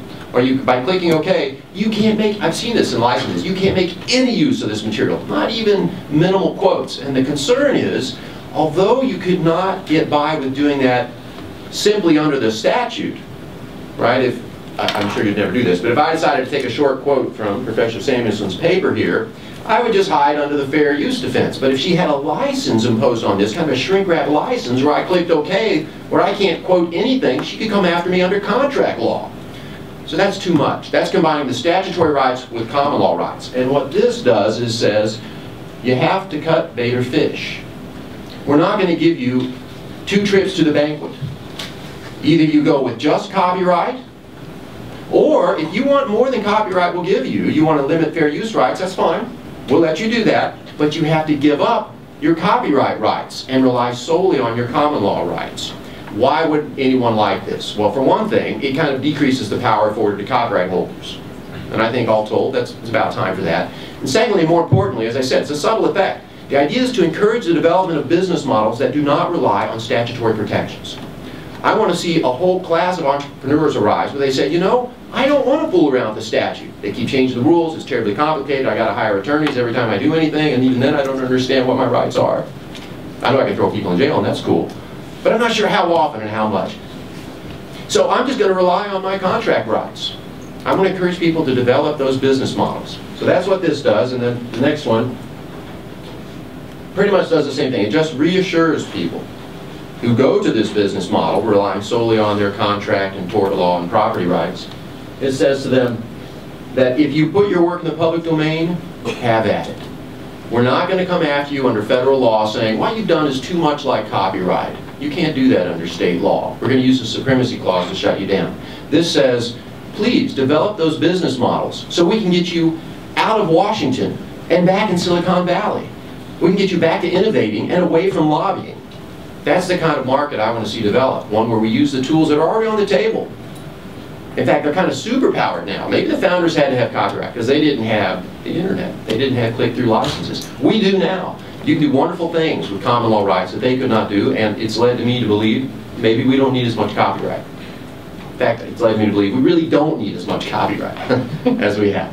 If Pam wanted to follow up on that. So one other thing actually that this report of the Copyright Principles Project does is addresses this question about efforts to use contract or mass market licenses to override fair use and other limitations and exceptions, uh, the rights that users would otherwise have. And we came up with a formulation for uh, how to think about uh, when it should be copyright uh, should override contract. And so that's a little bit different approach, but still the recognition that there's some often some conflict between uh, what copyright law would do, which gives users some rights, uh, and what uh, licenses sometimes do, which is try to override those rights, and how do you mediate those tensions. Um, I'll also put in a, another plug for it, which is that we also came to consensus about uh, about reinvigorating formalities. Uh, so uh, big companies and I think small companies, um, as long as the formalities are not onerous, um, uh, and confiscatory, I think uh, people can support uh, reinvigorating formalities. Is there anywhere online we can get those? Uh... Yes, it's all online. Um, it's called the Copyright Principles Project Directions for Reform. It's available on SSRN. So Eric, so as I said before, Reddit is the front page of the internet. And obviously there's a, a, the web, and there's a lot of uh, you know conversation about copyright reform. Obviously, it was a huge foment uh, of organization and discussion around SOPA and PIPA, and that's the last time I'm going to mention SOPA and PIPA in this panel because I don't want it. This is about reform, not what happened a year ago. Although I didn't mind what happened a year ago. But what do people when, when people are talking about copyright and copyright reform on Reddit? What do they care about? What what are the things other than saying no? What do they say yes to? Because that, to me, that's the challenge, right? The challenge is it's a lot easier to defeat a bill than it is to, you know, to get one passed. So our challenge as advocates for copyright reform is how do we get even half the number of people that came out against mm -mm -mm, uh, to come out in favor of something? Well, so I mean, I think the most exciting thing they say yes to is they say yes to good business models that give people good service and let them buy what they want to buy. I mean, that's we see that all the time, free to play, and then people pay for other things. I mean, they, they say yes to, you know, all kinds of things, Kickstarters. They say yes to, you know, directly funding uh, musicians. They say yes to, you know, they, they give us, uh, uh, us money to support the site in addition to advertising. Um, they don't have to. So they, say yes to a lot of things with their with their credit cards and PayPal's and, and cash, and that's that's what's really exciting. And you know, there's not a lot of things to say yes to in that innovative business model space from you know from the big uh, content companies, and I think that's that's what's really frustrating. And you know, we have a pretty international audience um, who gets really frustrated because it's super complicated to even know you know where to look for you know certain shows or books or games uh, online if they want to pay for it. Um, so uh, you know that that's what's what's exciting for us to see. And Mike, how about your members? I mean, what, what will, I know you're up here, Morning Tech Report today, you're talking about immigration reform, which is obviously really critical. I assume you're talking about patent reform, which is all the rage, in, not just in Silicon Valley, but Silicon Alley, in Austin, any place where there's high tech. But when it comes to copyright reform, you know, what are your members telling you that they, that they would say yes to, that they would come to the Hill and, and, and march the halls of this Congress in favor of and, and, and spread out to their networks and tell them to do the same? Well, so on, on the on the copyright front, we made sort of a decision when we got Engine off the ground to do a lot of the other issues that you talked about, immigration and patent, and the fact that patent is all the rage, by the way, is kind of kind of fun because it is very important, and now people are starting to like get around that we actually need this kind of stuff we, we looked at copyright, and especially coming out of the great internet, you know, thing of last year that apparently won't name. Um, coming out that shall not be named. Yeah, right. The, what, but coming out of that, we learned that we've got to teach people on both sides of this about what the internet really is. And so we made a conscious decision to choose issues in cons consultation with our members that were telling us, like, I got real problems on immigration. I got real problems on patent. I got real problems with, you know, financial regulation, which was Jobs Act last year, and things like that. And said we will, we will let people more learned than ourselves, as I often would say, especially you, fight the good fight on copyright, and keep it, you know, in a, in a manageable level. But what we want is more people walking the halls in this building who get why it's different now. And what that means is teaching them about the products we build, the companies we started, where we are, how we do what we do, the business models that are allowing people to not just survive, but thrive in ways that we never conceived of before, whether as a content creator or, or a web developer or, or a you know, new and fledgling company, whatever it is. Um, and then we want to have a conversation about copyright when we're all a little bit further down the line. Now, at the same time, we're going out to our members and saying, and here's how you can most effectively work with our friends in Congress and in the regulatory agencies and the White House and in government at the federal and state and local level, instead of the traditional Silicon Valley view and entrepreneurial view of putting blinders on and just hoping that they don't notice that you're over here doing stuff and maybe just maybe your business will succeed despite the fact that around here sometimes it's seek first to regulate more than seek first to understand. So we want to build that understanding, we want to build that trust, we want to, on both sides, we want to be here to educate us why we're doing events like Startup Day on the Hill, and I invite you all to come to that after you're done here today. We'll have stuff all over Capitol Hill um, uh, for the next two days. Uh, but it, in our view, it really is about education and about trying to figure out the best way for regulation and legislation to be crafted going forward that helps not just the business models that have we've already started to see pick up, but the ones we haven't thought of yet, the, the products we haven't thought of yet, the companies we haven't thought of yet, that will provide frameworks where they can um, survive. That, when we do talk about copyright, that's what our membership will stand up for. They will stand up for a regime that works, that for changes that can help their bottom line. They'll come here in droves to talk about that. I would, I'm perfectly happy to help the internet find its pitchforks and torches. Um, and you know, I'm sure Eric is too, and the rest of us when necessary, and we'll fight if there's another bill like that which shall not be named, which would have had, you know, not just a chilling effect, but real done real damage to innovation generally, and especially the startup economy. We'll we'll fight that fight if we have to. We would rather not. We would much rather that we got a chance to get people understanding what's going on and then work together and collaboratively to build a regime that works. That's a great answer. So let me just shift just a little bit and let's talk about international and what's going on overseas. You see the UK sort of completely rethinking uh, its copyright regime. You see the Hadopi three strikes law uh, falling apart in France. You saw protests against ACTA you know, all over the world except in the United States. Yet here, you know, we had SOPA and PIPA last year. We signed ACTA. We're now negotiating the Trans-Pacific Partnership Agreement. Uh, the ISPs in the content industry just instituted a voluntary uh, graduated response regime. So we're a little bit behind. But is the ground shifting? And will what's happening overseas, will it have what happened? or non-expressive uses, so computational uses of, uh, uh, of works uh, that we can learn new things from. Uh, some of you probably have used the Ngram viewer uh, to see what kinds of word usages have happened over time. Uh, that, that's essentially a, an application on top of the Google Books corpus.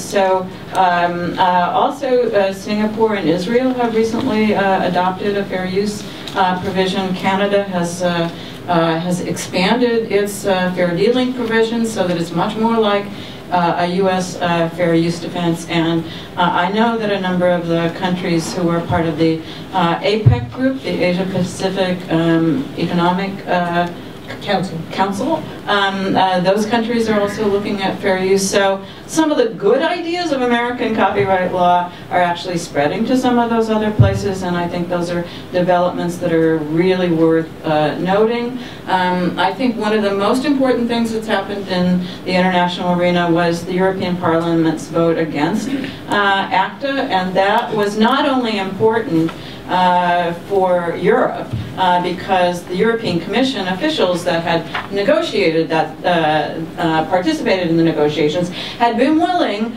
to negotiate something that was going to bind all members of the European Union without consulting with the European Parliament at all.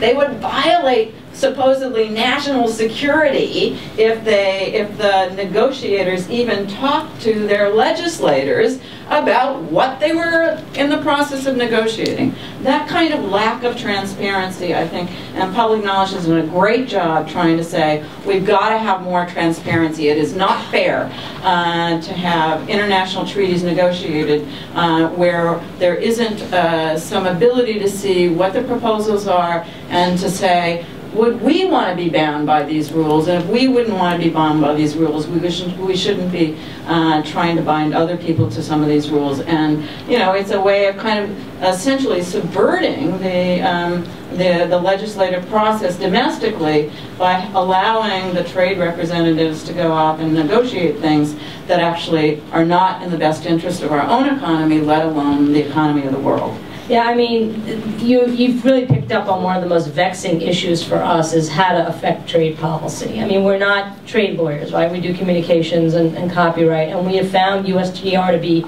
a complete and total black hole.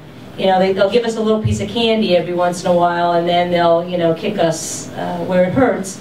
So if anybody has any ideas on that, how do we, how do we, I mean, I think it takes leadership, right? I mean, you know, Ambassador Kirk, very nice guy, but, you know, he wasn't the, the guy who was going to come in and say, look, you know, we're, we're treating, you know, intellectual products like we treat soybean and corn. There's something wrong with that. And I don't know how you fix that other than getting, you know, they had Peter Cowhey, who's a professor at University of uh, California, San Diego, to come in and essentially change the culture there. He lasted one year.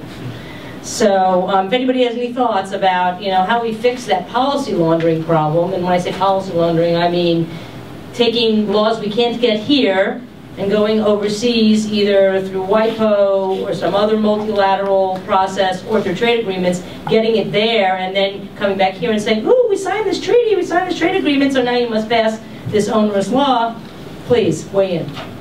I don't have a solution to that problem, I'm sorry. um, and, and, your comments were so well put on that front. But I will say there were some interesting developments at the WTO. In fact, there's a panelist coming up, and Andrew Shore, who's worked with the Antiguan um, gambling folks. And at Antigua, they managed this through the WTO process to basically start giving away American copyrighted goods online. And I'm not sure exactly what I think about that. I, that's so radical, even I uh, kind of got stopped. But anyhow, it's an interesting development, and uh, I'm watching that with a great deal of interest.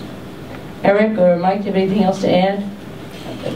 Subject of, I mean, I, I know, I think the TPP was very. Uh, was a big article discussion on Reddit. And go ahead, Mike. If ACTA, ACTA and TPP have both been a lot of discussion happening on Reddit, and I think it's actually, uh, you know, it's a, it's a testament to the front page of the internet that this is where the substantive discussions were really happening about these bills. I mean, a lot of the the news that we were getting, what little would come out of USTR, which you know was smuggled out in the middle of the night, or you know probably just left out with the trash, whatever it was on but it would show up on Reddit, and then you would have these conversations that would happen and be like, well, you know, okay, how are we going to activate? How are we going to do this? That's a very powerful tool for those of us in this community care about this to have is just a, a place and a, a way to convene. It's the reason we started Engine, was to bring together the startup community to convene on this and meet with government.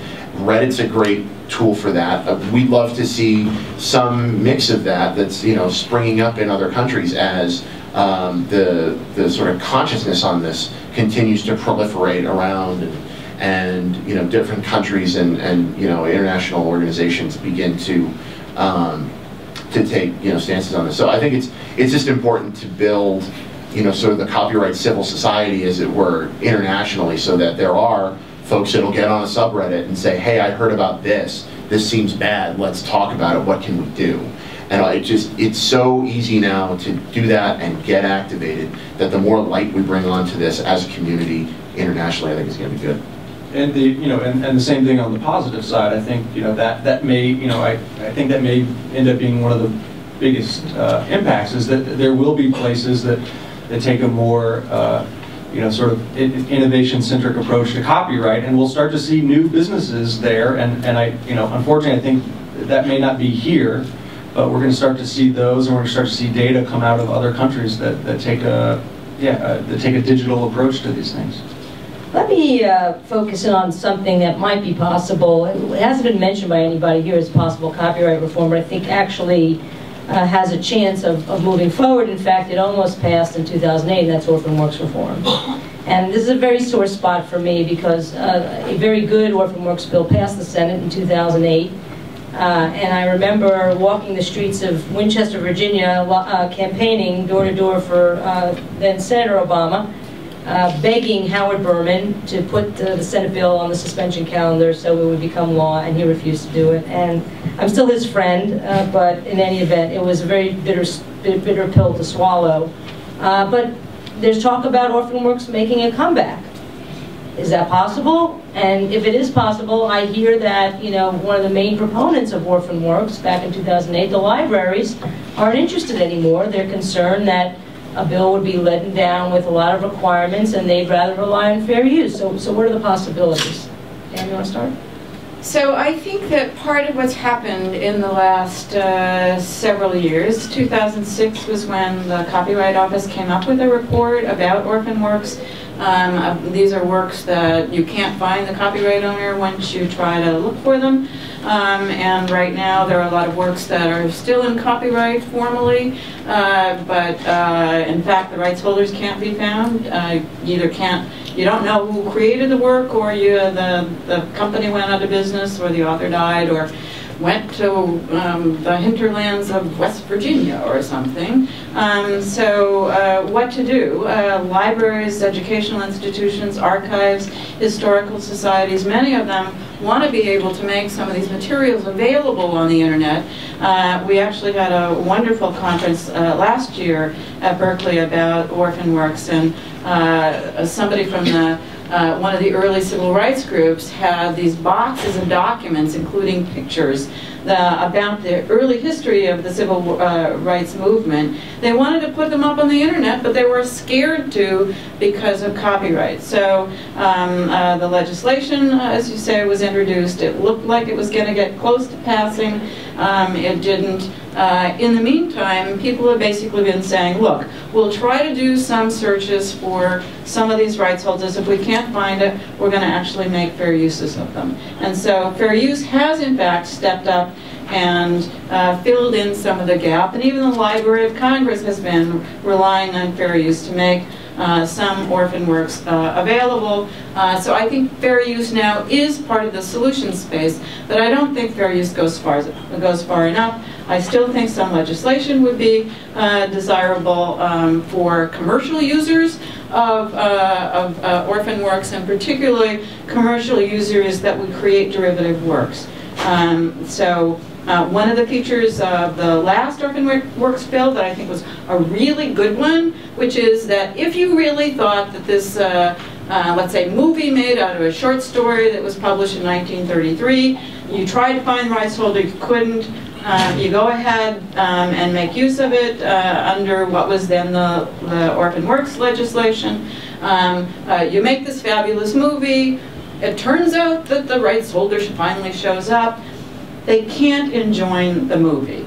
Um, they can get some compensation for the value um, that they added to the work, um, and so that's actually a fair trade because then the public is not deprived of uh, further access to the work, and also the, the rights holder in the derivative work can basically say, look, I'll pay you this fair share of uh, the value, but I deserve some uh, I deserve some compensation too because I made this investment. I got a, got good stars and blah blah blah. Um, and so I added value here. So we all win and not just one entity. So I think that it's really more for the creative uses, especially commercial uses, um, that would probably uh, not fall within fair use, that orphan works legislation would be um, desirable. And I think the libraries might um, uh, be willing to support something like that as long as there was some recognition that fair use does play an important role in the orphan works space also.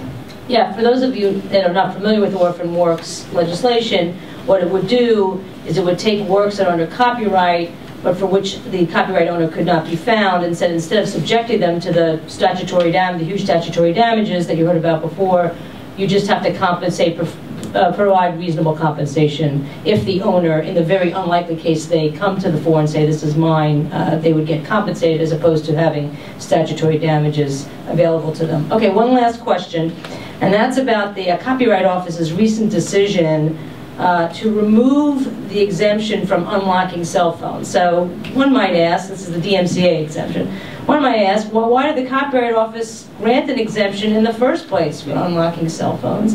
And if they granted it, you'd hip hip hooray for those of us who like interoperability and the ability to take your cell phone from one carrier to the next. Is why in God's name did they get rid of it? Should they have been there in the first place? I mean, should it even be a question whether unlocking cell phones is a violation of the DMCA? Why don't we just go down the, from Mike and, and just one minute answer I'm, I'm gonna, I'm gonna cede to a lawyer on this question first, and then I'll come back, but, uh, I mean, uh, we need to promote these, uh, we need to promote these ideas and, and be able, for interoperability purposes, we're moving into, into a, you know, a situation where we're gonna be jumping between carriers or, you know, switching devices, you know, or traveling internationally in ways that we never were before, but, uh, I will leave the. The Digital Millennium Copyright Act uh, developed a set of rules about be, making it illegal to bypass a technical protection measure uh, that some copyright owner was using to protect their work.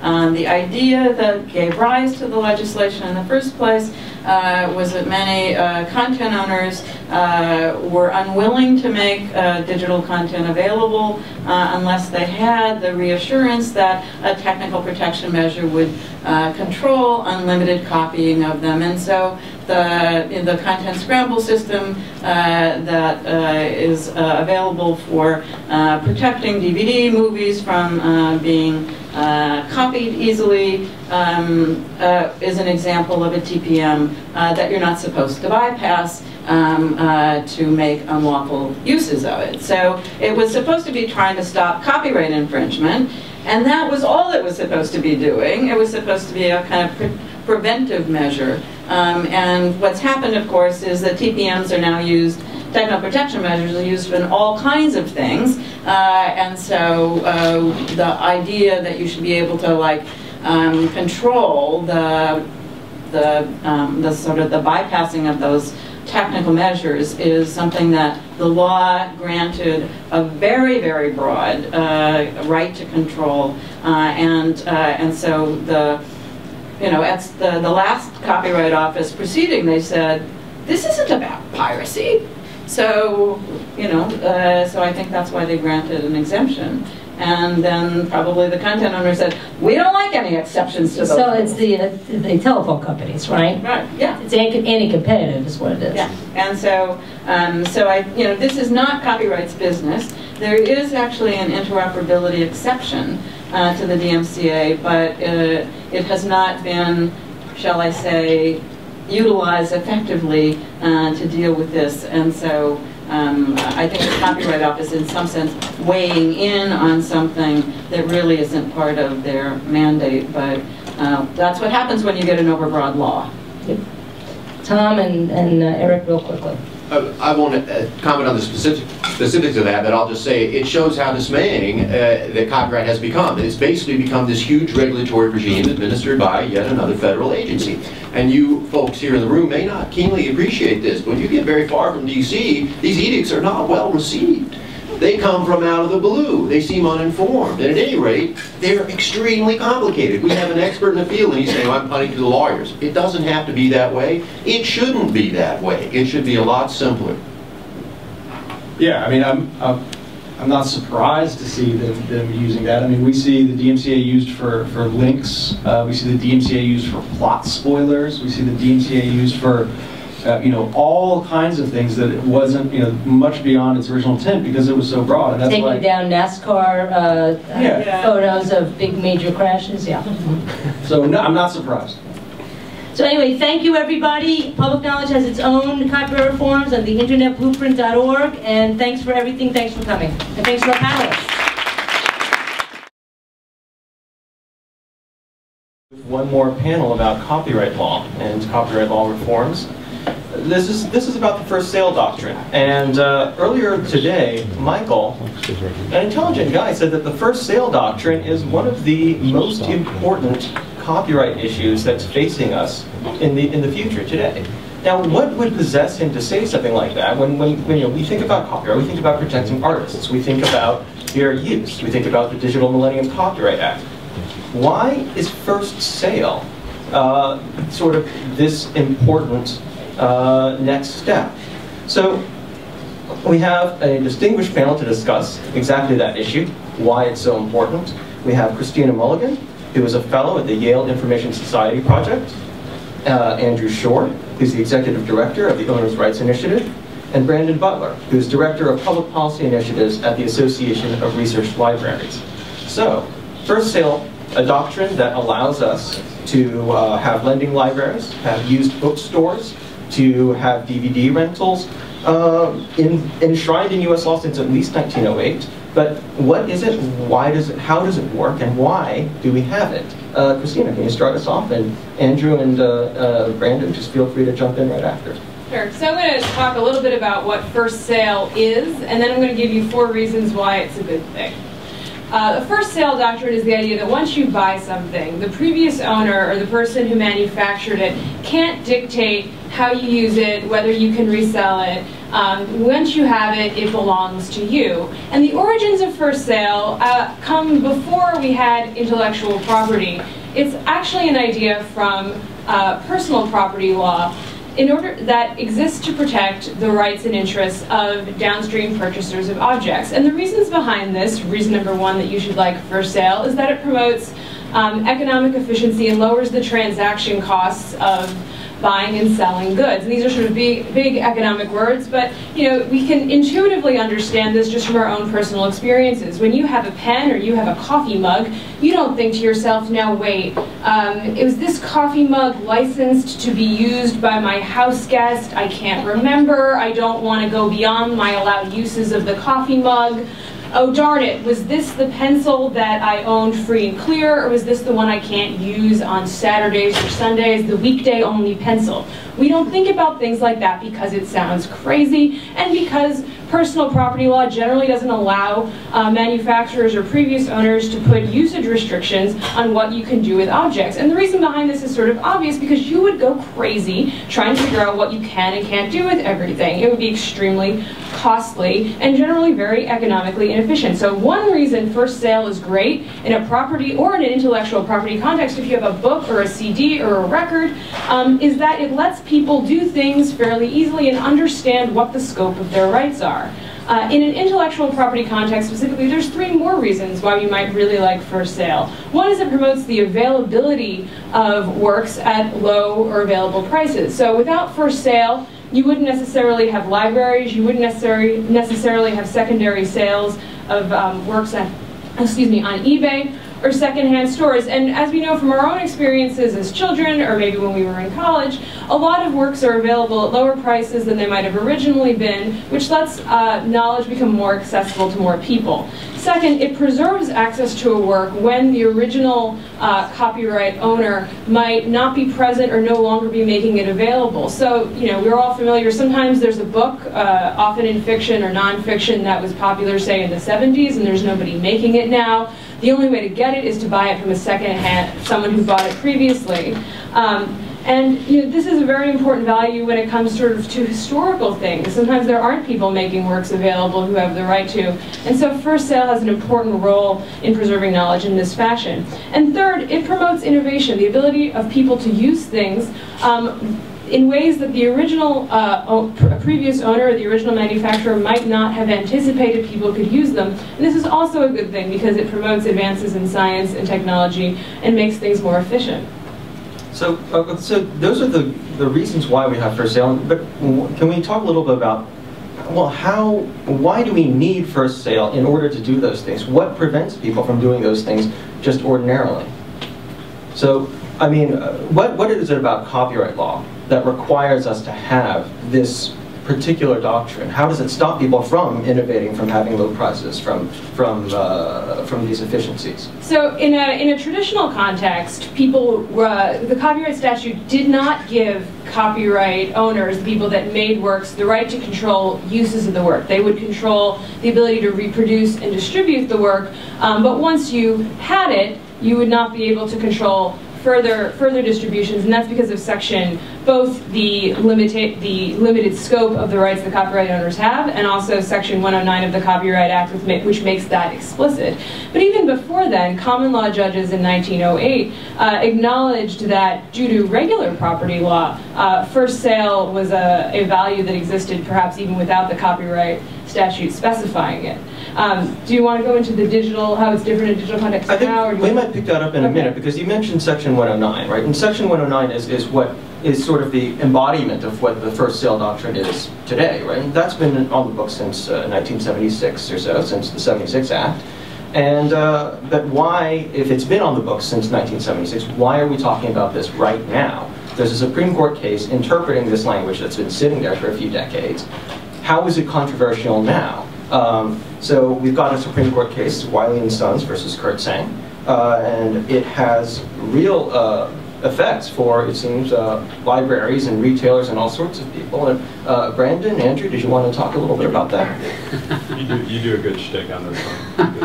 Can you tell? Andrew and I have been doing meetings. We've probably met with some of you about this already. So And the might rest of you are entertainment lobbyists who are here just to follow me home.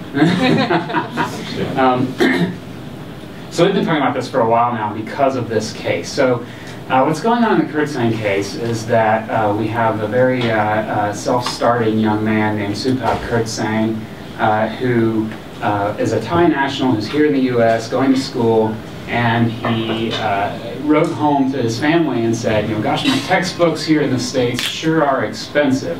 What do they cost when you buy them back home? And turns out they cost a lot less. And these are legit textbooks, right? The real deal, licensed by Wiley. These aren't counterfeits. Um, but they're you know printed a little bit more cheaply and priced lower to be uh, acceptable on the Thai market, right? Um, so the family buys up, uh, buys a copy for Supap, and he says, "Now wait a minute, there's a huge difference here in these prices. Are there more on the shelf? Can you buy a few more, and I'll start selling them to my friends here in the states?" And uh, so Supap got a pretty nice good business going there, um, buying these uh, uh, copies, again, legit copies, retail, right? He's not stealing them from the printer before they get to the store. He's buying them uh, the way anybody would. Um, and then shipping them back home, uh, shipping them to the States and then selling them online. And uh, Wiley brought a lawsuit saying, wait a minute, uh, we have a right to control importation of, our, of these books, right? We can exclude these books from the market. Um, and Kirtsaeng's defense is the first sale doctrine. He says, look, uh, we bought these fair and square. These are legit copies. Uh, we're not. We're we're way downstream in the stream of commerce here. I didn't. I didn't play any tricks on you. Uh, I'm not under any contract with you. I'm a normal buyer. I should be able to turn around and sell this copy that I got. And that's that's where we are now in the Kirtsaeng case. Is this dispute over whether the first sale doctrine protects works that were uh, printed abroad. And the origin of this of this controversy is that there are uh, two unfortunate, uh, three unfortunate words in Section 109, right? So what kinds of works are subject to the first sale doctrine? And it's works that are lawfully made under this title. And those three words are sort of uh, opaque, right? We don't know, it's not clear whether they mean, uh, would they be lawful had this title applied, no matter where they are, right? Um, are they lawful, on, uh, or, or as courts have so far, unfortunately, in the district level interpreted it, does it mean lawfully made where this title applies, i.e. here in the United States? Um, if that latter interpretation uh, is, is upheld by the Supreme Court, though, what that's going to mean is that not only people like Mr. Kirtsaeng, um, who maybe are, are making money with this, but sort of anyone who is uh, buying things lawfully that are made abroad, even if those things are sold for the first time here in the U.S., right? Because all that matters is where it's made, not where it's sold. Um, all, every good that is made abroad will suddenly uh, no longer be subject to the first sale doctrine, which creates um, chaos, you know, dogs and cats living together. So we're uh, really concerned about what's going to happen if the court gets this wrong. Right, at that point, you have to rely on fair use. And, and that means every single good is subject to a, to, well, subject to a subjective, sorry for the redundancy, subjective test. Um, and it's just not as clean as the first sale doctrine. And part of the problem with goods that are coming across the border is, um, you know, multiple parties could have rights to a particular good. So it's never as clean as saying that there's a single copyright holder to a particular work that was then made overseas and, and shipped into the United States. You could have four or five different people like you do with movies um, and music. Different people are assigned different levels of rights in order to publicize the movie and sell the DVD and all those types of things. So a world without first sale and a first sale doctrine that protects consumers immediately after that first sale, that legitimate first sale has been made, is uh, completely chaotic. It's not a world that policymakers want to wake up in. Well, okay, so but you're talking about consumers and, and your concerns about them. Kirtsaeng isn't an end consumer, right? He's a reseller. And for another matter, he's importing works, right? I mean, you know, there's a section in the Copyright Act that says if you're importing something, you're distributing it, you need the permission of a copyright holder to do that. I mean, how how is it that uh, that this that, that first sale should override that? Well, the problem is that the there ought to be right. The, the counter argument to all of the concerns that we're raising is that uh, there is a legitimate interest, and I absolutely believe that this is true. Uh, there are good public policy reasons for folks to sell things at different prices in different places, right? And the question is, how do they preserve that right, and to what extent should they be able to preserve that right? And so there's a whole arsenal of uh, legal tools at the disposal of the folks who want to sell things abroad and ensure that when they, for example, license someone to print 100,000 copies, that guy who printed the 100,000 doesn't turn around and mail them back to the U.S., right? So there are ways for them to really try to control their uh, supply chain in pretty, um, in, in pretty powerful ways. Uh, the question is, should that go so far that once there is this lawful sale, uh, the control continues, in essence, forever, right? I mean, we're not even just talking about Kirtsaeng. The people who buy the books from Kirtsaeng would also be subject to this problem. Right. So if uh, the other, you know, the, the, the, other kinds of problems that we have, and, and there were other cases about this before, um, are where, you know, you lawfully buy things uh, from someone like Overstock.com, right? And uh, that thing, if it was made abroad, even though you bought it on a U.S. website, um, that thing could be subject to copyright protection. A, a, better example that we often use is Goodwill, who's a member of the coalition.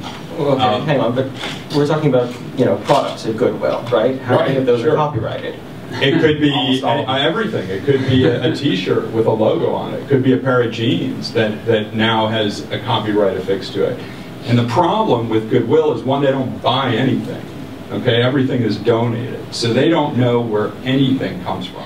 Everything is potentially not resellable, and because you can't tell what things were licensed how once it gets sufficiently downstream, then people are paralyzed and feel like they can't do anything because it's just too costly to figure out uh, what you can and can't do with stuff. Right, and it, it ties back finally to the last panel when uh, we were talking about the problem with no formalities uh, for copyright. So sort of everyone has copyrights all the time, and uh, any any crazy person can assert their copyrights, right? And so uh, you're sort of at the you're at the whim of the craziest possible copyright owner. It's not just sophisticated, uh, right. you know, sophisticated businesses. It's you can get a C&D from any uh, wacko, and that sort of sets you off down this road of wondering how to change the way you do business.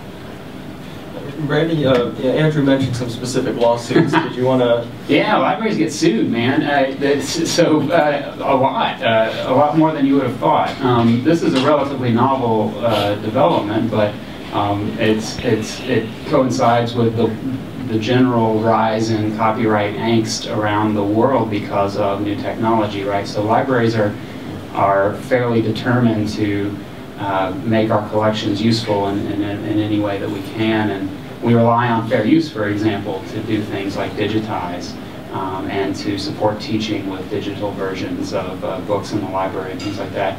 And there are two or three major lawsuits pending in federal appeals courts right now. I'm, I'm you know, beating the pavement every day, putting together amicus briefs and, and working on this. So it's not, it's not at all uh, a fantasy that libraries could get sued over copyright. And you know, I love fair use. Like we we live and die by it. We are all of these briefs are about how important fair use is, but uh, it's hard to litigate. You know, it is a challenge. And when we have a, a, a sort of fundamental, clear um, bedrock principle like first sale, that makes our lives a lot easier, right? We can focus on the interesting, cutting edge stuff with fair use, but we need that bedrock principle of first sale to get our jobs done in a very basic way.